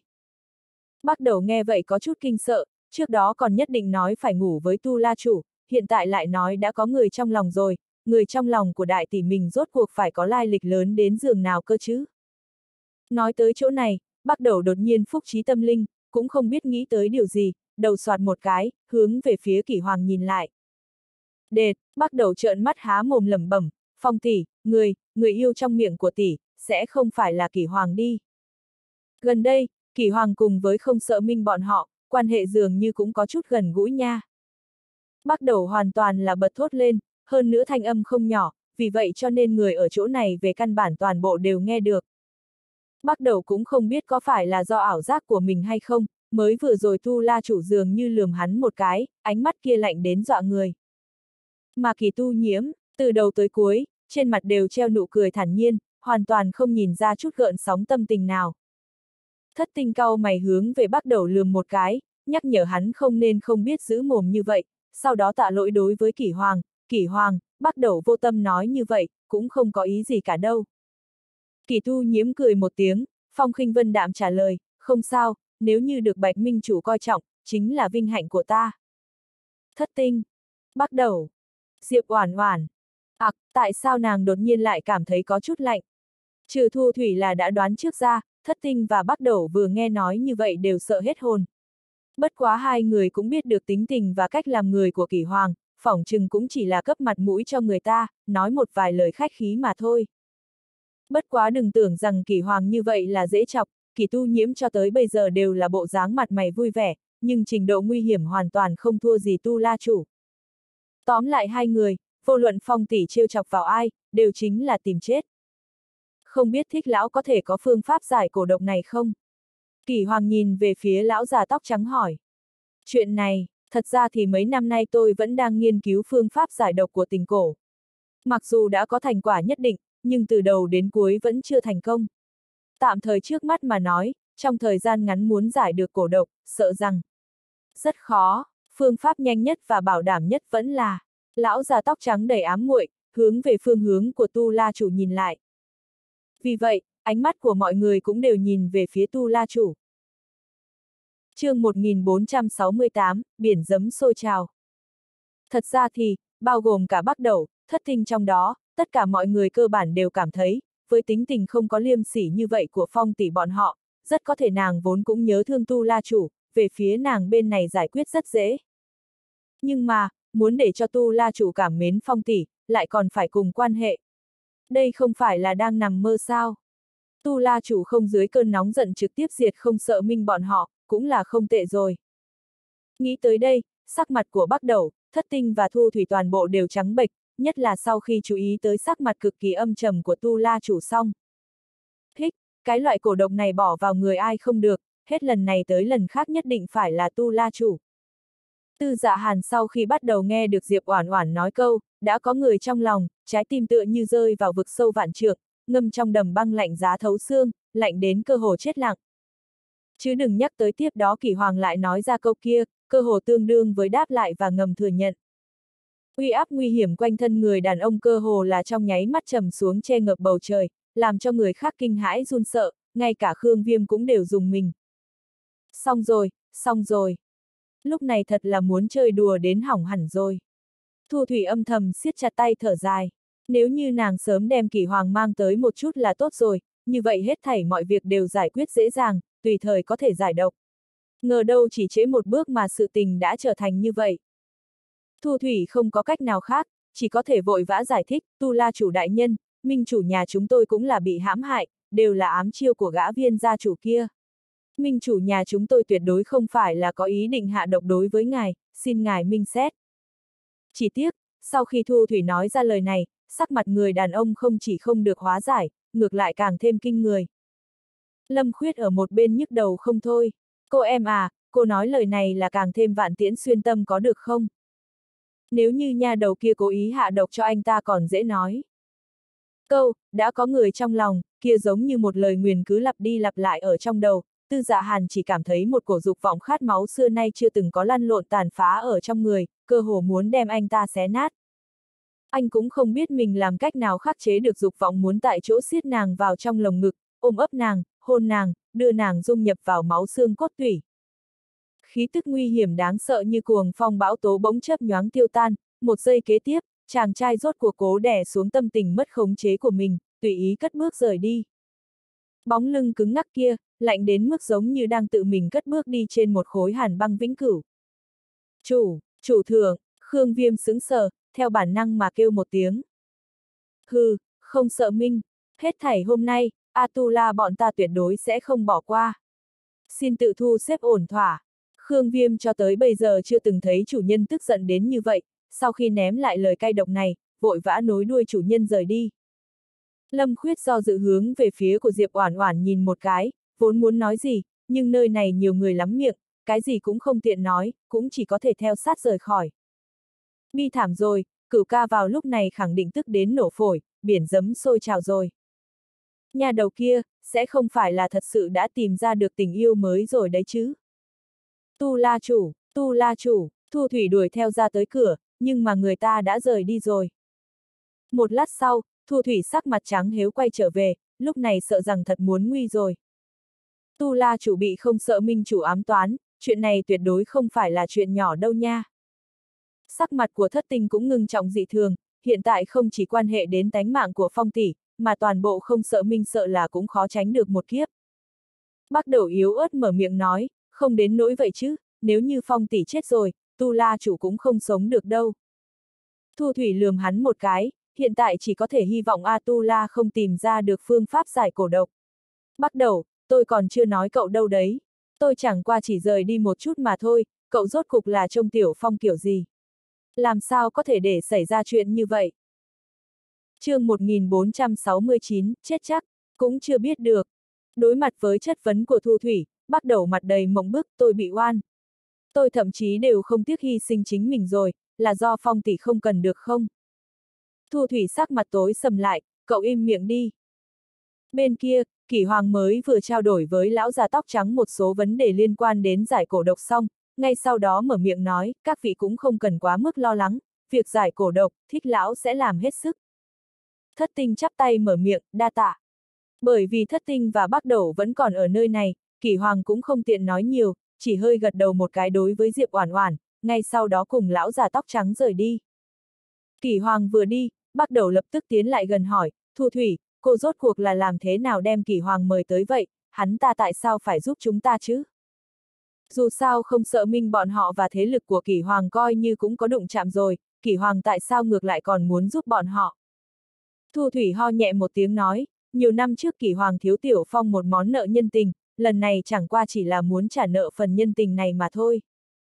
Hả, có không, tôi làm sao lại không biết, bắt đầu cũng không hỏi nhiều, vẻ mặt đưa đám nói, Phong tỷ, chuyện này phải làm sao bây giờ đây? Lần này sẽ không phải là chết chắc đi. Ánh mắt Diệp Oản Oản rơi vào phương hướng ly khai của Tu La chủ. Một hồi lâu sau, con người nàng rũ xuống, chậm rãi nhìn cánh tay của mình, nơi đó dường như còn sót lại chút hơi ấm của người đàn ông vừa mới đỡ nàng. Cô nàng ánh mắt u ám, không nhanh không chậm mở miệng, chết chắc. Cũng chưa biết được. Cùng lúc đó, tại không sợ minh. Bên trong đại sảnh, sắc mặt tam trưởng lão Lý Tư, âm trầm phảng phất như có thể chảy ra nước, các lão già ở bên cạnh, trên mặt cũng đều hiện lên vẻ tức giận. Mới vừa rồi viên gia bên kia đã truyền đến tin tức. Nguyên bản bọn họ đều cho rằng nữ nhân kia đi đến viên gia, hẳn là tự tìm đường chết. Nhưng mà ai có thể ngờ được, Diệp Oản Oản không chỉ thành công giết chết viên gia chủ, thậm chí còn đem toàn bộ viên gia đều thâu tóm. Nữ nhân kia, lại có thể thật sự có bản lãnh này, làm sụp đổ viên gia. Một vị trưởng lão sắc mặt âm trầm, lạnh giọng mở miệng nói. Tôi nhận được tin tức, cô ta thuê lính đánh thuê. Tam trưởng lão Lý Tư lên tiếng. Lính đánh thuê, nghe được lời nói này, mấy lão già còn lại hơi sững sờ, thần sắc kinh ngạc, một người trong đó nhíu chặt chân mày, lính đánh thuê của nơi nào. Nghe nói là có liên quan đến nhiếp gia. Hừ, thực lực của cái gã đại công tử nhiếp gia đó, trong lòng các ông hẳn là cũng rõ ràng. Thủ hạ của hắn, giải quyết một cái viên gia, vẫn không phải là chuyện dễ dàng. Tam trưởng lão Lý Tư nói. Người thuộc phe của ôn tử nhiên sắp quay trở lại. Thừa dịp thời gian này, nếu như còn không tìm ra chứng cứ nữ nhân kia là minh chủ giả mạo, chúng ta cũng gặp phiền toái lớn. Một lão già trong đám cắn răng nghiến lợi. Nhưng mà, tam trưởng lão Lý Tư lại khẽ mỉm cười, không nhanh không chậm mở miệng, cứ yên tâm đi, chờ nữ nhân kia trở lại, cô ta liền có thể chết rồi. Nghe tam trưởng lão Lý Tư nói như vậy, hai lão già khác đều sững sờ, không hiểu được hàm nghĩa trong lời này của Lý Tư. Tam trưởng lão, ông nói thế này là có ý gì? Nếu như không tìm ra được chứng cứ nữ nhân kia là minh chủ giả mạo, ngàn vạn lần không nên động thủ. Đừng quên, chúng ta trước đó đã cùng mấy trận doanh khác định ra quy củ. Một lão già tóc trắng cau mày nói. Tôi đã nói như vậy, tất nhiên là đã tìm được chứng cớ. Tam trưởng lão Lý Tư khẽ mỉm cười. Lý Tư vừa dứt tiếng, lão già tóc trắng sắc mặt kinh ngạc, tam trưởng lão, lời này là thật. Đương nhiên, tam trưởng lão Lý Tư hướng về ngoài cửa nói, đem người mang vào cho ta. chương 1470, cũng thật là đáng yêu. Rất nhanh, mấy vị thành viên không sợ minh, đè một gã đàn ông thương tích khắp người, nhanh chân từ bên ngoài đi tới. Nếu như Diệp Oản Oản ở chỗ này, nhất định có thể liếc mắt liền nhận ra, người đàn ông này chính là Chu Vu của Chu gia. Lúc này Chu Vu sắc mặt trắng bệch, trên người tràn đầy vết thương nhìn thấy mà giật mình. Cầu cầu ở đâu? Rất nhanh, Chu Vu ngẩng đầu lên, vành mắt đỏ quặp nhìn chằm chằm tam trưởng lão Lý Tư cầu cầu. Vẫn còn là trẻ con, các ngươi rốt cuộc muốn thế nào? Nghe tiếng, Lý Tư đứng dậy, nhanh chân đi đến bên người Chu Vu, thấp giọng cười nói, Chu Vu, con của ngươi rất khỏe. Đừng có gấp, ngươi chỉ cần thành thật trả lời cho ta mấy câu hỏi, chuyện này, coi như cho qua. Chu Vu ngẩng đầu lên, cắn răng nghiến lợi nhìn chằm chằm Lý Tư, ở trong địa lao của không sợ minh, hắn bị nghiêm hình khảo cung, vẫn như cũ không chịu nói. Cuối cùng, cái đám xúc sinh này lại có thể dùng cầu cầu để uy hiếp anh ta. Chu Vu, Chu gia của ngươi cũng không dễ dàng, không cần phải vì một người không hề liên quan làm cho Chu gia bị hủy diệt. Còn nữa, con của ngươi, mặc dù là một người câm, nhưng ta thấy, cũng thật là đáng yêu. Lý Tư lạnh giọng cười nói. Ngươi rốt cuộc muốn hỏi cái gì? Nhắc tới cầu cầu, thân thể Chu Vu khẽ run lên. Ha ha, theo ta được biết, không sợ minh chủ Bạch Phong xuất hiện đầu tiên là tại Chu gia. Hơn nữa, ta nghe được tin tức là, sau khi minh chủ đi tới Độc Lập Châu, bởi vì không có giấy thông hành, cho nên bị võ đạo liên minh công hội truy đuổi, là ngươi mang theo không sợ minh chủ tránh thoát được đội giám sát của võ đạo liên minh công hội, cũng đưa cô ta quay về Chu gia, có phải thế không? Lý Tư cười như không cười nói. Không phải, ta căn bản cũng không biết ngươi đang nói gì. Chu Vu nắm chặt hai quả đấm. Ồ, không biết cũng không sao, ta sẽ giúp cho ngươi nhớ ra. Lý Tư nói xong, một vị tráng hán từ ngoài cửa đi vào. Tráng hán ôm lấy cầu cầu mặt tràn đầy sợ hãi, đi tới bên cạnh cửa sổ, một tay bóp cổ cầu cầu, vừa cầm cầu cầu đưa ra ngoài cửa sổ. Chó chết, đám xúc sinh các ngươi. Thấy vậy, Chu Vu tức giận quát một tiếng, dãy dụa đứng dậy. ầm, um. Nhưng mà, trong nháy mắt Lý Tư lại tung một trường đánh vào bụng Chu Vu. Một giây kế tiếp, bộ mặt Chu Vu vặn vẹo, vô lực ngồi xổm trên mặt đất, thân thể cuộn lại co do lăn lộn. Chu Vu, người rượu mời không uống chỉ thích uống rượu phạt, ta lại cho ngươi một cơ hội cuối cùng. Nếu như ngươi nói thật, ta có thể thả ngươi và cái đứa câm này rời đi, cũng bảo đảm Chu ra ngươi bình an vô sự, nhưng nếu như ngươi vẫn không biết điều. Ngươi lát nữa liền có thể nhặt xác cho đứa con trai câm của mình, cũng như hơn trăm miệng ăn của Chu gia. Tam trưởng lão cười đầy hắc ám. Không sợ minh chủ của chúng ta hiện tại, rốt cuộc là ai, tên gọi là gì, đến từ nơi nào. Lý Tư lạnh giọng quát một tiếng tra hỏi. Giờ phút này, một đôi con người đỏ lòm của Chu Vu nhìn về phía cầu cầu, cuối cùng lắc đầu một cái, chỉ có thể thỏa hiệp, cô ấy gọi là Diệp Oản Oản. Nghe Chu Vu mở miệng, tam trưởng lão Lý Tư và hai lão già khác ở đây, con ngươi đều sáng lên. Được, rất tốt, ta lại hỏi ngươi, nàng đến từ nơi nào? Lý Tư hỏi. Hoa Quốc, Chu Vu cắn răng trả lời. Ngươi nói có thật không? Lý Tư khẽ mỉm cười. Đều là nói thật, Chu Vu thở dài nói. Biết được hết thảy, Lý Tư phất phất tay, để cho Tráng Hán đem cầu cầu lôi trở lại, cũng đem Chu Vu và cầu cầu cùng nhau nhốt vào bên trong hầm giam. Chỉ chốc lát sau, Lý Tư nhấn nhấn một dãy điện thoại tại Hoa Quốc, để cho chi nhánh thế lực tại Hoa Quốc bắt đầu bắt tay điều tra chuyện này. chương 1471, cần cô hỗ trợ. Hai ngày sau, thế lực chi nhánh tại Hoa Quốc kia, sau khi đem toàn bộ tình huống của Diệp Oản Oản thăm dò rõ ràng xong, dẫn theo một nữ nhân đi tới Độc Lập Châu. Bên trong phòng hội nghị, nữ nhân hơi lộ ra vẻ khẩn trương, không ngừng hướng về bốn phía quan sát. Tôi nghe nói, cô là giáo viên của Diệp Oản Oản. Lý Tư nhìn về phía người phụ nữ trung niên kia hỏi. Vâng, tôi có một học sinh tên là Diệp Oản Oản. Các người, rốt cuộc là ai vậy? Nơi đây lại là nơi nào? Thần sắc cô ta có chút bối rối. Ha ha, không cần khẩn trương, trước tiên trả lời tôi mấy câu hỏi, cô tên là gì? Lý Tư lại hỏi. Người phụ nữ nuốt nước miếng, đại khái là thấy được những người này không phải là dạng hiền lành gì, không dám có chút giấu giếm, nơm nớp lo sợ mở miệng, tôi. Tôi tên là Lương Lệ Hoa. Lương Lệ Hoa là giáo viên chủ nhiệm lớp cấp 3 của Diệp Oản Oản, hai ngày trước không hiểu vì sao bị người ta theo dõi, sau đó đem cô ta đánh ngất xỉu. Chờ sau khi tỉnh lại, đã đến nơi này. Lương tiểu thư không cần phải lo lắng. Lý Tư có vẻ đầy hòa ái mà mở miệng nói, chúng tôi cũng không muốn làm khó cô, chẳng qua là có chuyện, cần cô hỗ trợ. Hỗ, hỗ trợ. Không sai, cái con nhà đầu gọi là Diệp Oản Oản trong miệng cô, bây giờ đang ở trong tổ chức chúng tôi, là thủ lĩnh cấp cao của tổ chức. Bất quá, chúng tôi hoài nghi cô ta là giả mạo, hy vọng tiểu thư có thể đúng sự thật nói cho chúng tôi biết thân phận chân thật của Diệp Oản Oản này là được rồi. Lý Tư đã tính toán thật kỹ, đầu tiên dùng phương pháp ôn hòa, nếu như ả đàn bà này không phối hợp, hắn tất nhiên sẽ có 100 loại biện pháp để đối phó với ả ta. Sau khi biết được đầu đuôi sự tình, lương lệ hoa mặt đầy kinh ngạc. Diệp Oản Oản nha đầu này có phần cũng quá can đảm rồi, lại dám giả mạo thủ lĩnh của một thế lực xã hội đen, đây không phải là muốn chết sao? Thấy có vẻ thế lực này cũng không phải là dễ trêu, Diệp Oản Oản chỉ là một con nhãi danh mới vừa lên đại học, làm sao có thể là thủ lĩnh của loại thế lực như thế này được?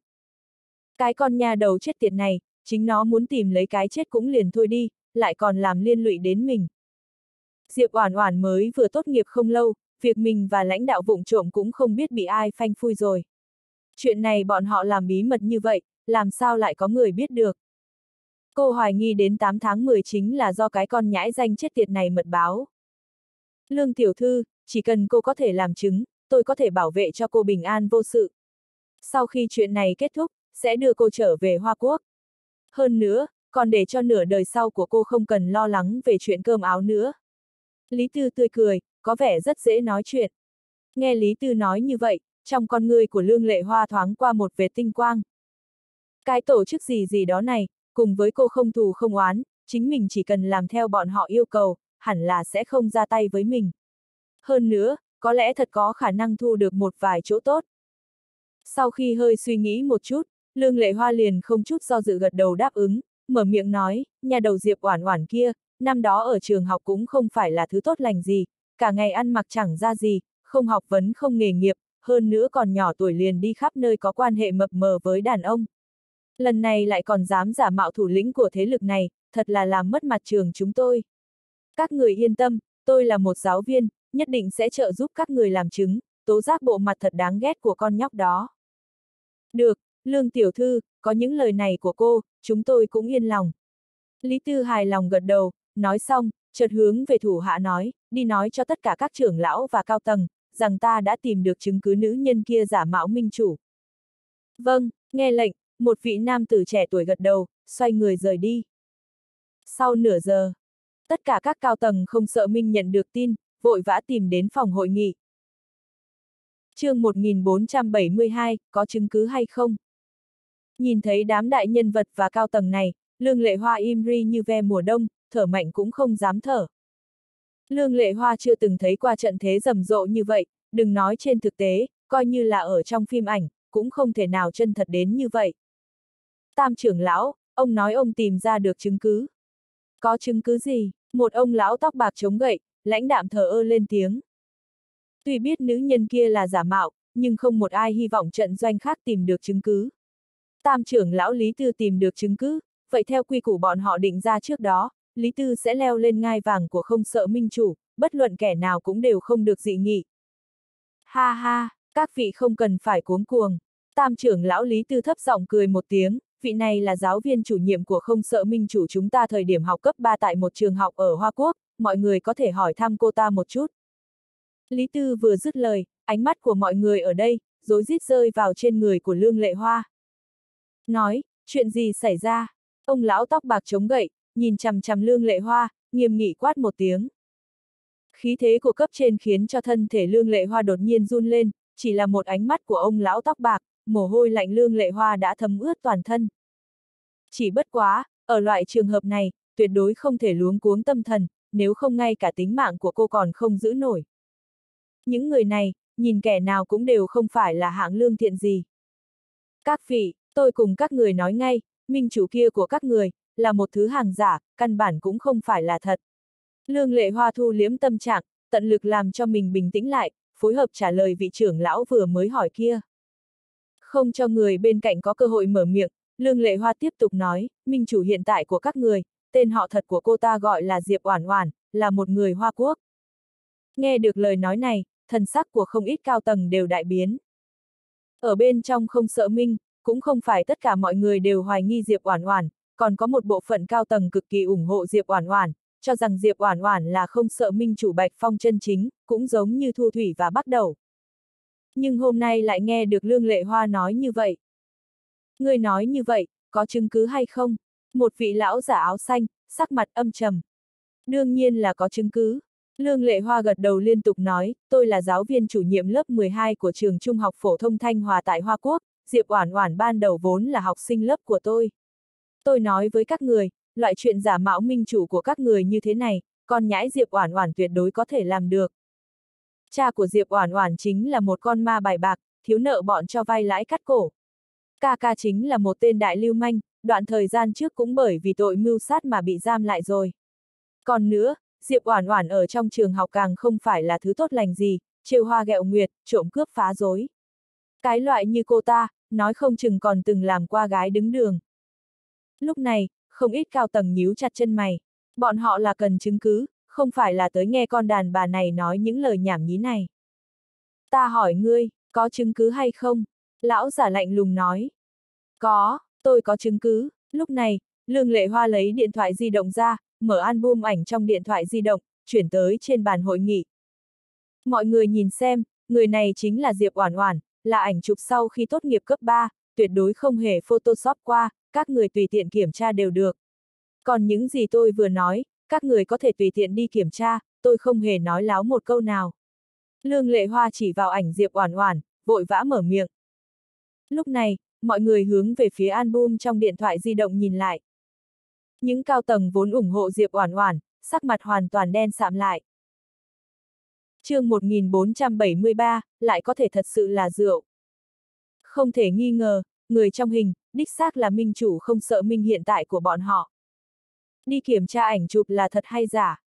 Một người đàn ông trung niên trong số đó, để cho thủ hạ đem ảnh chụp kiểm tra bản gốc. Chỉ chốc lát sau, thủ hạ nhanh chóng quay trở lại, cao mày mở miệng nói ảnh chụp không có vấn đề. Là ảnh thật. Vừa dứt tiếng, mọi người tại đây lâm vào ồn ào náo động. Trưởng lão các trận doanh lớn sắc mặt khó coi, chưa từng nghĩ, quay qua quay lại, chứng cứ lại có thể bị tam trưởng lão Lý Tư tìm ra được. Mà các cao tầng ủng hộ Diệp Oản Oản, sắc mặt âm trầm phảng phất như có thể chảy ra nước. Nữ nhân kia, lại thật sự là giả mạo. Xem đi, những gì tôi nói là sự thực đấy. Cái con nhãi Diệp Oản Oản đó, quả thực là sự sỉ nhục của trường trung học phổ thông Thanh Hòa chúng tôi. Lương Lệ Hoa mặt đầy vẻ chán ghét. Nữ nhân kia, lại dám giả mạo minh chủ. Ông lão tóc bạc chống gậy, cắn răng nghiến lợi, cô ta đâu? Trở về chưa? Còn chưa có quay trở lại. Một thành viên không sợ Minh trả lời. Đợi sau khi cô ta trở về, trước tiên không được bứt dây động rừng, đem toàn bộ không sợ Minh phong tỏa cho ta. Ông lão tóc bạc hừ lạnh một tiếng, đập cửa mà đi. Ước chừng trạng vạng, đám người thất tinh lái xe từ viên ra quay trở về không sợ Minh. Một nhóm ba người đi vào trụ sở chính không sợ Minh. Sau khi tiến vào không sợ Minh, thần sắc Diệp Oản Oản hơi có chút nghi ngờ, thần sắc của một số thành viên không sợ Minh, dường như có cái gì không đúng. Chỉ bất quá, Diệp Oản Oản cũng không hề suy nghĩ nhiều. Rất nhanh, Diệp Oản Oản đi vào trong phòng làm việc. Phong tỷ, Phong tỷ, chuyện cổ độc kia rốt cục tỷ tính làm sao bây giờ thế? Làm sao một chút hành động cũng không có? Đây chính chuyện có quan hệ đến tính mạng của tỷ đấy. Bắt đầu gấp đến độ xoay mòng mòng. Hai ngày nay Phong tỷ cứ y như là không gặp phải chuyện gì, không hề cuống cuồng chút nào. Thật là hoàng đế không gấp, thái giám đã vội gần chết. Thất tinh đứng ở một bên, trên mặt cũng đầy vẻ lo âu, tôi đã âm thầm phái người đi thăm dò phương pháp giải tình cổ, nhưng mà tin tức nhận được cũng đều là tình cổ không có phương pháp giải nào khác. Diệp Oản Oản nhéo mi tâm một cái, được rồi, chuyện giải cổ độc, tôi tự có chừng mực, các cậu đi ra ngoài trước đi, tôi muốn nghỉ ngơi một lát. Hai ngày nay, cơ hồ đã hao tổn tất cả tâm trí của nàng. Trừ việc xử lý viên gia và một vài công việc chỉnh đốn phía sau ra, nàng còn âm thầm liên lạc với Lưu Ảnh, để cho cậu ta phân biệt đi đến cổ tộc Tư Thị và Tư Gia Hoa Quốc điều tra một chút về tung tích của Tư Dạ Hàn. Nếu như người kia khẳng định chắc chắn anh ta không phải là Tư Dạ Hàn, vậy nàng liền từng bước từng bước một vạch trần lời nói dối của anh ta.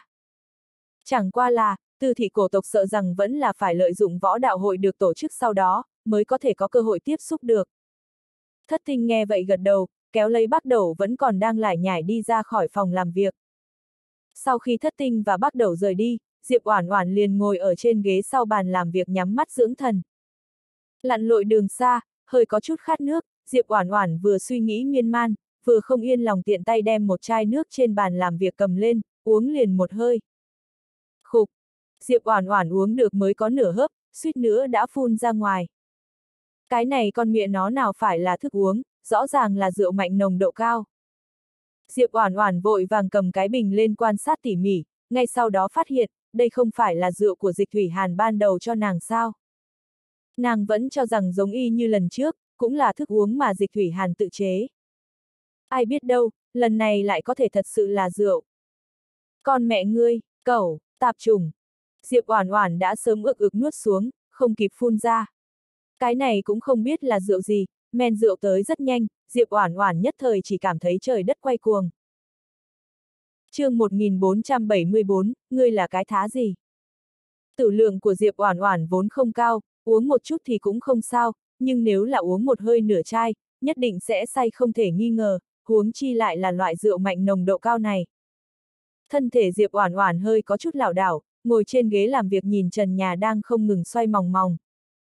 Sau khi tới Độc Lập Châu, nàng vẫn luôn phi thường cẩn thận, rất sợ lỡ như đi nhầm một bước, vì vậy tuyệt đối không dám uống quá nhiều rượu khiến cho mình rơi vào trạng thái không tỉnh táo. Nếu không vạn nhất lúc say rượu nói sai hay làm sai điều gì, thứ đợi nàng rước lấy chính là họa sát thân. Cũng còn may cái tên tóc húi cua ca này dường như cũng không hay uống rượu, những trường hợp nàng cần phải uống rượu cũng không nhiều. Ai ngờ đâu, lần này lại có thể thua vào tay cậu tạp trùng. Bên ngoài phòng làm việc, Bắc Đầu và Thất Tinh còn đang tán gẫu, nhưng đúng lúc này, trên trăm vị cao tầng và trung tầng không sợ Minh đột nhiên đem căn phòng vây lấy. Giờ phút này, Thất Tinh nhìn về phía đám người đang lao tới tơi này, chân mày hơi hơi nhíu lên, không biết chuyện gì xảy ra.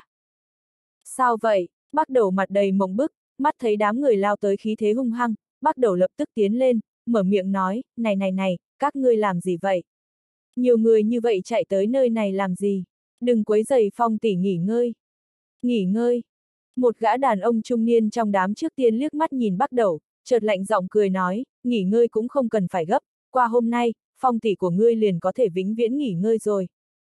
Nghe được lời nói này, bắt đầu hơi sững sờ, mặt đầy vẻ ngơ ngác, hoàn toàn không hiểu được hàm nghĩa trong câu nói này của gã ta. Cái gì gọi là, qua hôm nay liền có thể vĩnh viễn nghỉ ngơi. Các vị là tới tìm phong tỷ. Thất tinh nhìn về phía mọi người, mở miệng nói. Tránh ra đi, không có quan hệ gì với các ngươi. Người đàn ông trung niên cười lạnh một tiếng. Giờ phút này, thất tinh đã ý thức được chuyện nghiêm trọng, một số chuyện trong nội bộ không sợ minh này, thất tinh tự nhiên hiểu được. Bây giờ, người của các trận doanh lớn khí thế khủng bố như vậy đến tìm minh chủ. Chẳng lẽ đã có thể chứng minh minh chủ là kẻ giả mạo? Ngươi nói tránh ra liền tránh ra. Tại không sợ minh, lão tử chỉ nghe lời phong tỷ và ôn tử nhiên, ngươi là cái thá gì? Bắt đầu nhìn chằm chằm người đàn ông trung niên mở miệng nói, lại cười lạnh một tiếng. Nghe tiếng, chân mày người đàn ông trung niên nhất thời nhíu lên, trong mắt hiện ra một sự tức giận không hề che giấu chút nào. Nhưng mà, còn không đợi người đàn ông trung niên lên tiếng, đã bị tam trưởng lão Lý Tư ở một bên mở miệng cắt ngang. Thất tinh, bắt đầu, ta dĩ nhiên là biết hai người các ngươi trung thành đối với minh chủ.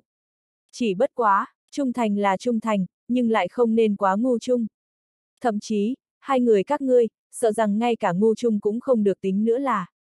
Tam trưởng lão Lý Tư nhìn chằm chằm thất tinh cùng bắt đầu, mở miệng cười nói. Tam trưởng lão rốt cục muốn nói gì, cần gì phải vòng vo, có lời đừng ngại nói thẳng. Thất tinh mở miệng nói. Tam trưởng lão Lý Tư khẽ mỉm cười, hướng về hai người nói, các ngươi có biết hay không, không sợ minh chủ mà các ngươi hiện tại đang bảo vệ, cũng không phải là Bạch Phong thứ thiệt, à ta là giả mạo. Ngươi nói cái gì? Sắc mặt bắt đầu nhất thời biến đổi, ngươi bằng cái gì mà nói Phong tỷ là giả mạo? Không sai, thất tinh gật đầu, tam trưởng lão, cho dù ngươi là trưởng lão của không sợ minh, nhưng nếu không có chứng cứ xác thực đã vu hãm rằng minh chủ là một kẻ giả mạo, tội danh này cũng không nhỏ đâu. Chứng cứ, một bên, gã đàn ông trung niên cười lạnh nói, nếu như chúng ta đã tới rồi, đương nhiên là có chứng cứ. Có chứng cứ, có cái con mẹ mày. Đem chứng cứ lấy ra cho lão tử nhìn một chút, bắt đầu quát lên. chương 1475, có phải có chỗ nào đó sai sai rồi hay không?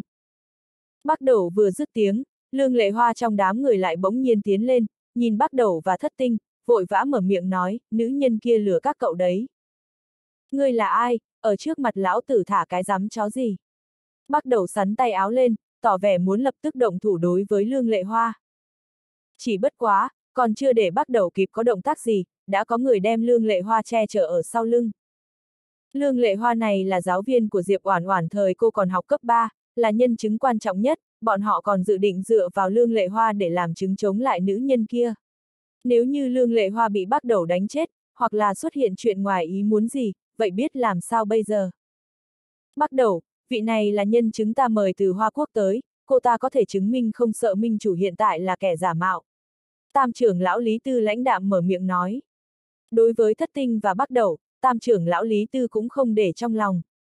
Chỉ bất quá, hai người này đều về phe của ôn tử nhiên. Mà ôn tử nhiên và Bạch Phong có quan hệ cực tốt. Tuy nói ôn tử nhiên ở bên ngoài làm nhiệm vụ còn chưa trở về, nhưng cũng đã biết được tin tức Bạch Phong trở về không sợ minh. Nếu như đợi ôn tử nhiên trở lại, phát hiện Diệp Oản Oản đã bị xử tử, vậy cũng rất khó ăn nói, còn cần có lương lệ hoa làm nhân chứng để chống lại Diệp Oản Oản. Được, bắt đầu gật đầu một cái, tôi không động thủ, nhưng nếu như ả ta không cầm ra được chứng cứ, tôi liền đánh chết con chó cái này. Nghe tiếng, thân sắc lương lệ hoa khẽ biến. Cái gọi là không sợ minh này rốt cuộc là dạng tổ chức gì, lại có thể hung tàn như vậy, động một chút là chém chém giết giết.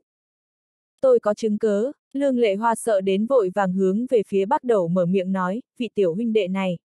Tôi đã nói với cậu, cậu thật sự đã bị cái con lừa đảo kia nó lừa. À ta căn bản không phải gọi là Bạch Phong, mà có họ tên đầy đủ là Diệp Oản Oản. Hơn nữa còn là người nước Hoa. Cha của ả à ta trước đó đã dính án lừa đảo trong kinh doanh, anh cô ta lại là một gã du côn lưu manh. Một đoạn thời gian trước, cha và ca ca của cô ta cũng bởi vì tội danh mưu sát mà bị bắt lại. Cái con lừa đảo kia, am hiểu nhất là lừa gạt người khác. Thời điểm tôi là giáo viên lớp cấp 3 của nó, ở trường học nó còn thường xuyên lừa dối bạn trai cùng lớp, lừa gạt tiền để tiêu xài từ lũ con trai, còn có thể đã từng làm gái đứng đường. Toàn thân không có lấy được nổi một chỗ sạch sẽ. Nhưng tôi lại không nghĩ tới, con ả Diệp Oản Oản này, lại có thể to gan lớn mật đến vậy, còn dám giả mạo thủ lĩnh của các cậu. Ngay cả một người giáo viên này như tôi cũng đều không nhìn nổi. Cô ta thật sự đáng chết. Con mẹ mày. Bắt đầu nghe Lương Lệ Hoa nói xong, nhất thời chửi ầm lên một tiếng. Mặc dù não của cậu ta có thể dễ dàng đi du lịch đó đây, các vấn đề suy nghĩ cũng không toàn diện, nhưng Phong tỷ làm sao sẽ lại là thứ người như vậy? Từ sau khi Phong tỷ trở về, gặp chuyện không sợ hãi, xử lý xong tất cả các vấn đề lớn nhỏ của không sợ minh. Ngay cả đám người tam trưởng lão cũng không có cách nào chèn ép nàng, thậm chí Phong tỷ lại có thể ở trước mặt những đại nhân vật như Tu La Chủ và Kỷ Hoàng ứng đối thành thạo như vậy. Một nữ nhân bình thường của Hoa Quốc, có thể làm được đến bước này. Lừa bịp ai vậy? Thật ra thì, nói đùa sao, cho dù là thất tinh, trong lòng cũng hoàn toàn không tin. Từ trước đến nay, hết thảy những gì Diệp Oản Oản làm, đều ở trong mắt thất tinh, chưa bao giờ bỏ sót qua chút nào. Với bản lĩnh của Diệp Oản Oản, lùi 10.000 bước mà nói, cho dù thật không phải là không sợ minh chủ, ít nhất cũng là một nhân vật không hề tầm thường, nhưng vào trong miệng con chó cái lương lệ hoa này, lại thành gái đứng đường, kẻ lừa đảo, làm cho cười cho thiên hạ. Chỉ bằng sắc đẹp kia của phong tỷ, người nói với lão tử tỷ ấy làm gái đứng đường. Tối thiểu cũng phải là tình nhân của các đại gia nhà giàu chứ. Bắt đầu mở miệng nói. Thất tinh, điểm mà gã bắt đầu này quan tâm, có phải là có chỗ nào đó sai sai rồi hay không? chương 1476, lại còn sống. Là sự thực, tôi thề, tuyệt đối không hề lừa các cậu. Các cậu ngàn vạn lần không nên bị vẻ bề ngoài làm cho mê hoặc. Lúc này, Lương Lệ Hoa đem album trong điện thoại di động mở ra, lật tới những hình chụp lớp cấp 3 nọ, để cho người đàn ông trung niên bên cạnh đưa cho bác đầu và thất tinh. Nhận lấy điện thoại di động của Lương Lệ Hoa, thất tinh và bắt đầu hai người bắt đầu quan sát album ảnh.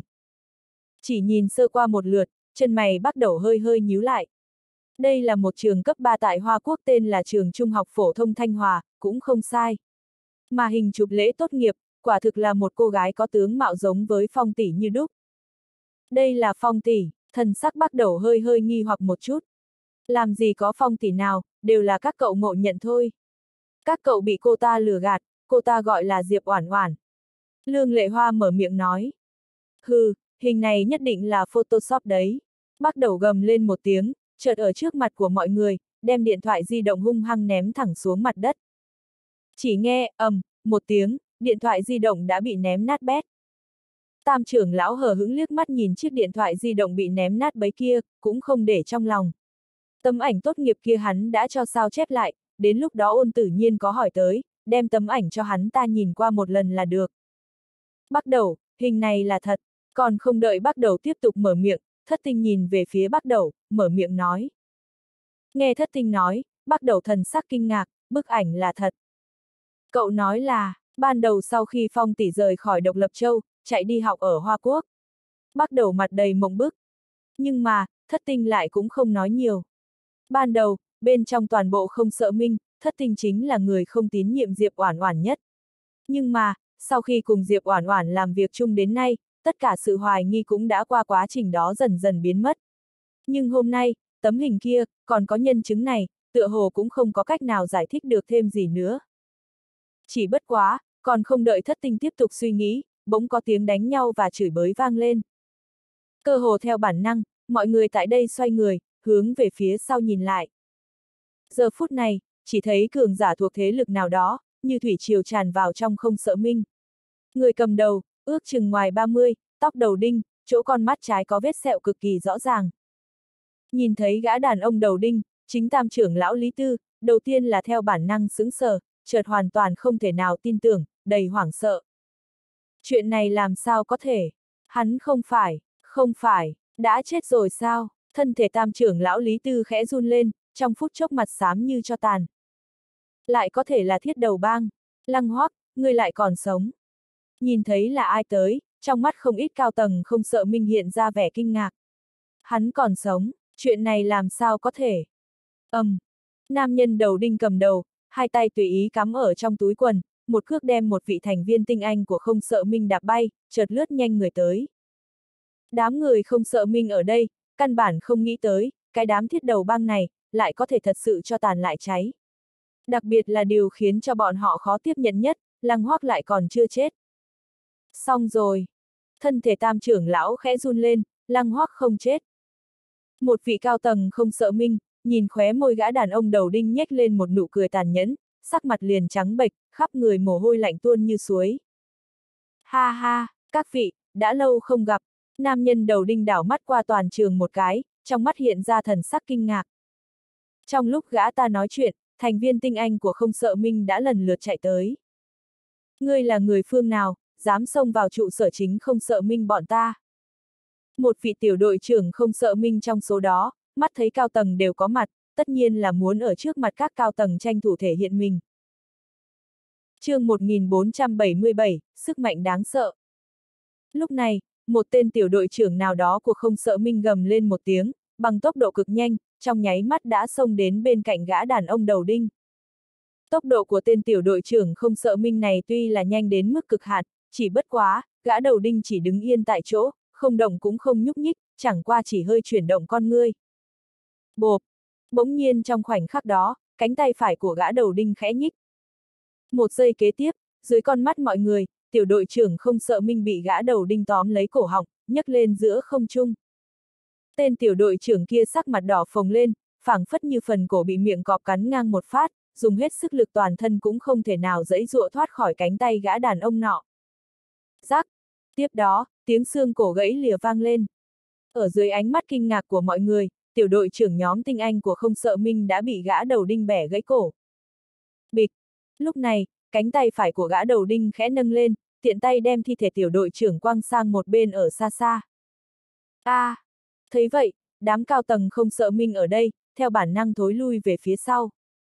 Ha ha! Trong mắt gã đàn ông đầu đinh hiện ra vẻ khát máu điên cuồng, trong miệng phát ra tiếng cười khiến cho người ta rợn cả tóc gáy mà không hiểu vì sao.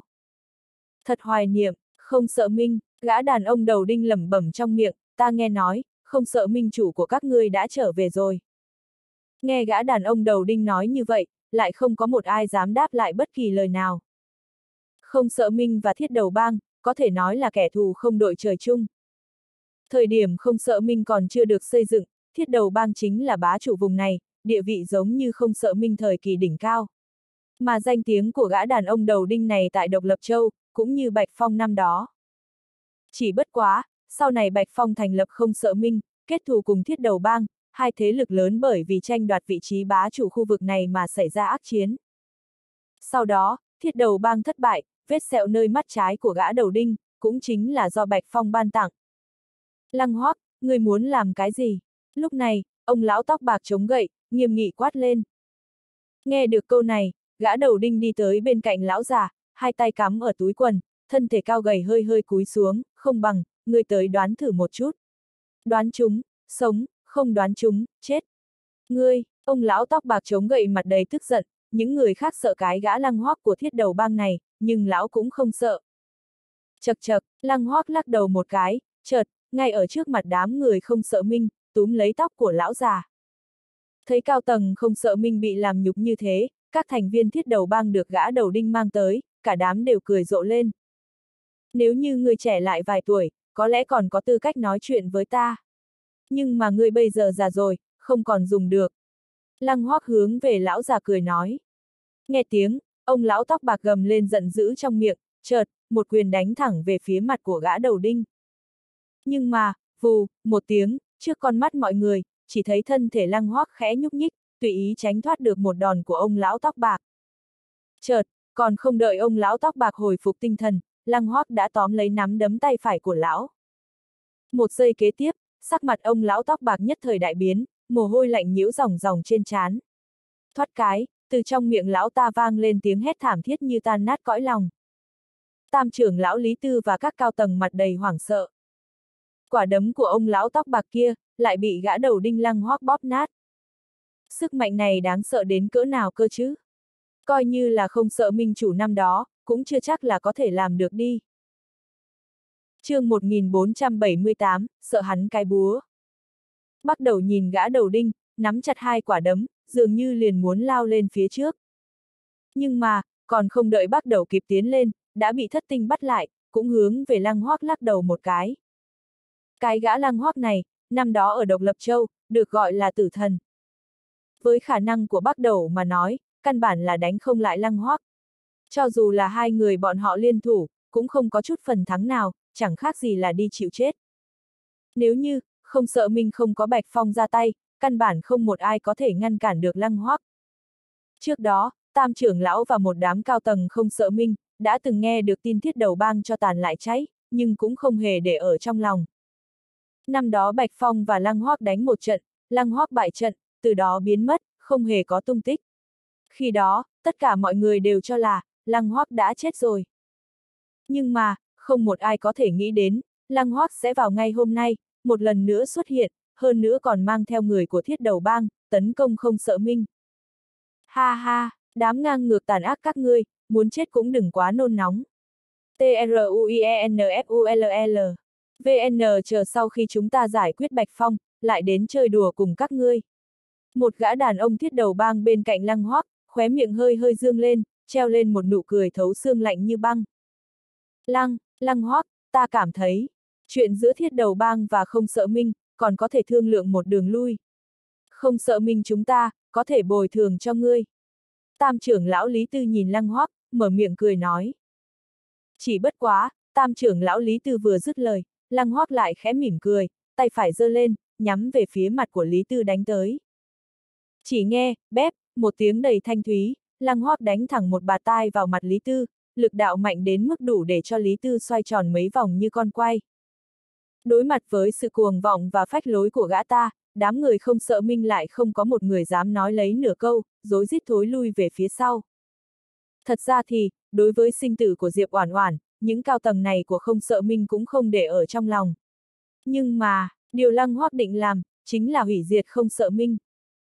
Lúc này, Lăng Hoác đảo mắt một cái, nhìn qua đám người không sợ minh ở đây, thấp giọng cười nói, Bạch Minh chủ của các ngươi ở đâu, trước tiên dẫn ta đi gặp Bạch Minh chủ của không sợ minh các ngươi đã. Con mẹ nó, chúng ta cùng cái đám chó chết này liều mạng. Bỗng nhiên, bắt đầu gầm lên một tiếng. Nghe bắt đầu nói như vậy, thất tinh nhíu chặt chân mày. Trận chiến này căn bản là không có khả năng có phần thắng. Con miệng nó, các ngươi còn là người của không sợ minh sao. Cùng lắm thì ôm nhau cùng chết, sợ hắn cai búa. Thấy mọi người lãnh đạm không động lòng, bắt đầu tiếp tục nói. Giờ phút này, đám cao tầng kể cả tam trưởng lão trong đó, sắc mặt âm trầm thật giống như có thể chảy ra nước. Cái gã lang hoác này, đem nữ nhân kia giết chết đi không quan trọng. Nhưng sau khi nữ nhân kia bị lăng hoác giết chết xong, lăng hoác cũng tuyệt đối sẽ không bỏ qua cho bọn họ. Nói tới nói lui, còn chẳng phải là cả đám đều bị hại hay sao? Tiến lên. Một vị trưởng lão trong đám, hướng về phía đám người không sợ minh lớn tiếng quát lên. Trưởng lão vừa ra lệnh, hơn chục người cơ hồ đồng thời ra tay, hướng về lăng hoác đánh tới. Ha ha, thế này mới có một chút bộ dáng không sợ minh năm đó. Thấy đám người không sợ minh lao lên, khóe miệng lăng hoác hơi hơi nhếch lên, lại là một nụ cười băng giá lạnh đến thấu xương treo lên. Bộp, ầm, ầm, lăng hoác dùng một tốc độ nhanh đến cực hạn, thật giống như một vệt tàn ảnh ngang dọc khắp nơi, từng tiếng va chạm liên tiếp truyền tới. Cả đám không sợ minh như diều đứt dây, lần lượt bay ngang ra ngoài. Nhanh, tiến lên, đừng sợ, lên, chơi chết hắn, đá trứng hắn, trọt mắt hắn. Bắt đầu đứng ở sau lưng mọi người, không ngừng làm nhảm ầm lên. chương 1479, quá mức khủng bố. Bắt đầu, con mẹ ngươi. Một vị cao tầng không sợ minh, chỉ vào bắt đầu, người con mẹ nó để cho chúng ta lên, chính mình lại núp ở phía sau nói lời khiêu khích. Vị cao tầng này còn muốn chửi mấy câu, nhưng đã bị lăng hoác tung một quyền đập trúng chán, trong nháy mắt ngã xuống đất, chết ngất tại chỗ. Bắt đầu. Lên đi, thất tinh xoay xoay cổ, nhanh chân lao vào trong đám người. Ai nói lão tử không lên, trợn to mắt chó của các ngươi nhìn cho rõ ràng, lão tử dũng mãnh như thế nào. Thấy thất tinh động thủ, bắt đầu quát lên một tiếng, cũng xông vào trong vòng hỗn chiến. Mới vừa lao vào trong, thất tinh đã thấy, cái gã lăng hoác kia hai tay tùy ý cắm ở trong túi quần, một cước tung ra như dao lòng vẫy đuôi, trong nháy mắt đem tam trưởng lão Lý Tư và tứ trưởng lão đá lộn mèo trên đất. Hừ, lăng hoác, đừng có quá đáng. Lúc này, hàn quang trong mắt đại trưởng lão lóe lên, đổi trưởng thành chảo, tóm thẳng về phía cổ của lăng hoác. Thấy đại trưởng lão ra tay, tam trưởng lão và một đám cường giả không sợ minh, ánh mắt ngưng tụ lại. Ở giai đoạn hiện tại mà nói, trong số các thành viên không sợ minh, thực lực của đại trưởng lão là cường đại nhất. Chỉ bất quá, đại trưởng lão và lăng hoác giao thủ bất quá chỉ mấy chiêu, đã bị lăng hoác đánh lật trên đất. Chợt, lăng hoác dùng một cước dẫm đạp ở trên người đại trưởng lão. Vút! Bỗng nhiên trong lúc đó, thất tinh xuất hiện ở trước người lăng hoác, dùng trưởng làm đao, chém thẳng về phía lăng hoác. Lúc này, đầu của lăng hoác khẽ nghiêng sang một bên, tránh thoát khỏi đòn đánh của thất tinh. Ồ, mới vừa rồi bọn họ gọi ngươi là thất tinh, ta nghĩ, ngươi chính là đứa trẻ năm đó đi theo bên người Bạch Phong à. Lăng hoác nhìn chằm chằm thất tinh, cười nhạt nói. Thất tinh cũng không hề có hứng thú trả lời lăng hoác. Một đòn đánh không được, lướt người tiến lên, tóm lấy cổ áo lăng hoác, định hất lăng hoác ra. Lắc cổ tay, nhưng mà lăng hoác một cước dẫm đạp ở trên người đại trưởng lão, vẫn không hề nhúc nhích, phảng phất như một ngọn núi cao không cách nào lay chuyển được. Nhóc con, Bạch Phong đâu? Lăng hoác khẽ mỉm cười, chợt, trỏ trái hung hăng đánh thẳng về phía thất tinh. quỳnh một tiếng, thất tinh biến sắc, thân thể cứ như bị xe lửa đụng vào, cả người không thể điều khiến được văng thẳng về phía sau. Lão tử giết chết ngươi. Bắt đầu đầu tiên là ôm lấy thất tinh từ phía sau, chờ sau khi thất tinh ổn định lại thân hình, lúc này mới hét lớn một tiếng, phóng thẳng về phía lăng hoác. Vào giờ phút này, trong mắt của đám người không sợ minh ở đây, hiện ra vẻ tuyệt vọng. Cái gã lăng hoác này, quá mức khủng bố. Trong không sợ minh, có ai có thể là đối thủ của hắn ta? Vào giờ phút này, bên trong phòng làm việc, Diệp Oản Oản ngồi ở trên ghế, một chai rượu mạnh trong tay, đã sớm thấy đáy, mùi rượu nồng nặc khắp người. Con người của Diệp Oản Oản đóng chặt, thật giống như đã ngủ thiếp đi. Với tử lượng của nàng, uống vào nguyên một chai rượu mạnh, kết quả có thể tưởng tượng được. Chỉ sợ là nàng trước đó lỡ uống nửa ngụm rượu mạnh, sau đó men rượu xông lên não, đã mất đi năng lực tự kiềm chế, sau đó đem nguyên chai rượu còn lại, toàn bộ rót vào trong bụng. Chỉ chốc lát sau, tựa hồ là bị tiếng đánh nhau ngoài phòng đánh thức, Diệp Oản Oản mơ mơ màng màng mở hai mắt ra, quơ quơ vỏ chai rượu trong tay, sau đó lảo đảo đứng dậy, đi ra bên ngoài phòng làm việc. Còn chưa đi được bao xa, con người của Diệp Oản Oản khẽ híp lại một cái, nhìn thấy gã đầu đinh lăng hoác ngược khắp toàn trường, mặt đầy vẻ nghi ngờ. Rất nhanh, trong cặp mắt Diệp Oản Oản hiện ra một vệt hàn quang. Vào thời khắc này, bắt đầu bị lăng hoác một tay tóm lấy cổ, hai chân hồng khỏi mặt đất, nhấc bổng lên giữa không trung. Bắt đầu sắc mặt phồng đỏ, mặt đầy vẻ thống khổ, cổ họng đau rát. Cái gã lăng hoác này, thực lực cũng có phần quá mức cường hãn. chương 1480, thế này còn không phải là sai sao. Bỗng nhiên trong lúc đó, vai trái của thất tinh, bị ai đó vỗ nhẹ nhẹ. Cơ hồ theo bản năng, thất tinh đang muốn xông lên, hướng về phía sau lưng nhìn lại. Phong tỷ, nhìn thấy Diệp Oản Oản bỗng nhiên xuất hiện, thất tinh hơi sững sờ. Cả người tỷ ấy nồng nặc mùi rượu thế này, là chuyện gì xảy ra? Lúc này, khóe miệng Diệp Oản Oản khẽ nhếch lên, trên khuôn mặt hiện ra một nụ cười khiến cho thất tinh cảm thấy vạn phần quen thuộc. Là năm đó, là nụ cười khi hắn lần đầu tiên nhìn thấy phong tỷ. Tà mị, tự tin, coi trời bằng vung. Còn không đợi thất tinh mở miệng, đã thấy Diệp Oản Oản lập tức tiến lên, không đợi gã đàn ông đầu đinh lăng hoắc kịp phản ứng, Diệp Oản Oản nâng lên một cước, hung hăng đạp thẳng vào mông lăng hoắc. Lăng hoắc trong tình huống bất ngờ không kịp đề phòng, miễn cưỡng bị trúng một cước của Diệp Oản Oản, cả người liền cùng với bắt đầu, bị Diệp Oản Oản đạp bay 3 đến 4 mét. Sau khi đạp xong lăng hoắc, Diệp Oản Oản ngáp một cái, ngồi trên lưng một vị cao tầng không sợ minh đã chết ngất tại chỗ, nhắm hai mắt lại, tiếp tục khò khò ngủ say. Một giây kế tiếp, Lăng Hoắc lập tức đứng dậy, ánh mắt sắc bén hướng về phía Diệp Oản Oản nhìn lại, người nào? Phong, Phong tỷ. Bắt đầu nhìn thấy Diệp Oản Oản, kinh ngạc nói. Vào giờ phút này, chúng cao tầng không sợ minh, căn bản cũng không thèm liếc mắt nhìn Diệp Oản Oản lấy một cái. Chỉ là muốn có thể bảo toàn tự thân mình, bảo toàn không sợ minh. Bạch Phong sao? Trên mặt Lăng Hoắc là nụ cười đầy lạnh lùng, tuy nói, bao năm không gặp, trong ký ức của hắn, tướng mạo nữ nhân năm đó để lại vết sẹo trên mắt trái của hắn không được mỹ mạo khuynh thành như vậy, chỉ là một con nhãi danh chết dẫm. Nhưng mới vừa rồi bắt đầu gọi cô ta là Phong tỷ, vậy nhất định sẽ không sai rồi. Bạch Phong, nhiều năm không gặp, vẫn khỏe chứ? Lăng Hoác đi tới bên người Diệp Oản Oản, lạnh giọng mở miệng cười.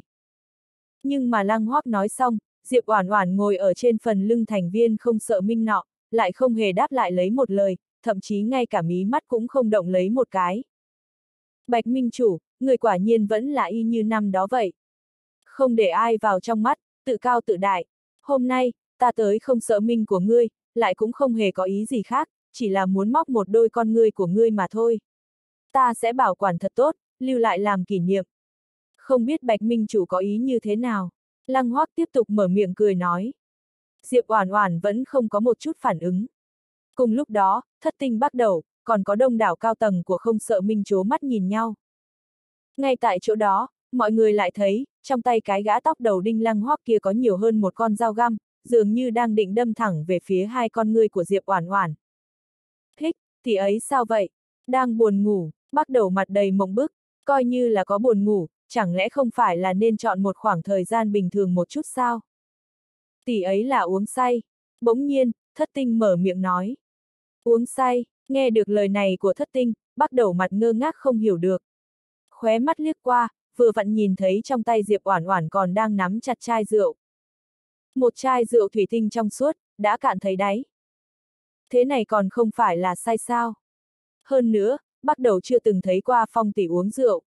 Trong nhận thức của bắt đầu, loại người chưa từng uống rượu như phong tỷ, uống một chai, không có khả năng không say. Và lại, còn mùi rượu nồng nặc trên người kia, cũng đã chứng minh phong tỷ đã uống say thật sự. Đây không phải là ngủ thiếp đi, mà là say bất tỉnh nhân sự. Người con miệng nó dám. Sau khi biết Diệp Oản Oản say rượu bất tỉnh nhân sự, bắt đầu gầm lên một tiếng, có vẻ như liền muốn một lần nữa phóng thẳng về hướng của Lăng Hoắc. Vô luận chân tướng là như thế nào, nhìn người trước mặt này chết đi, hắn không làm được.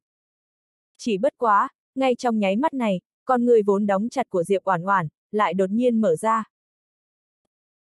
Audio điện tử võ tấn bền. Hết chương 1480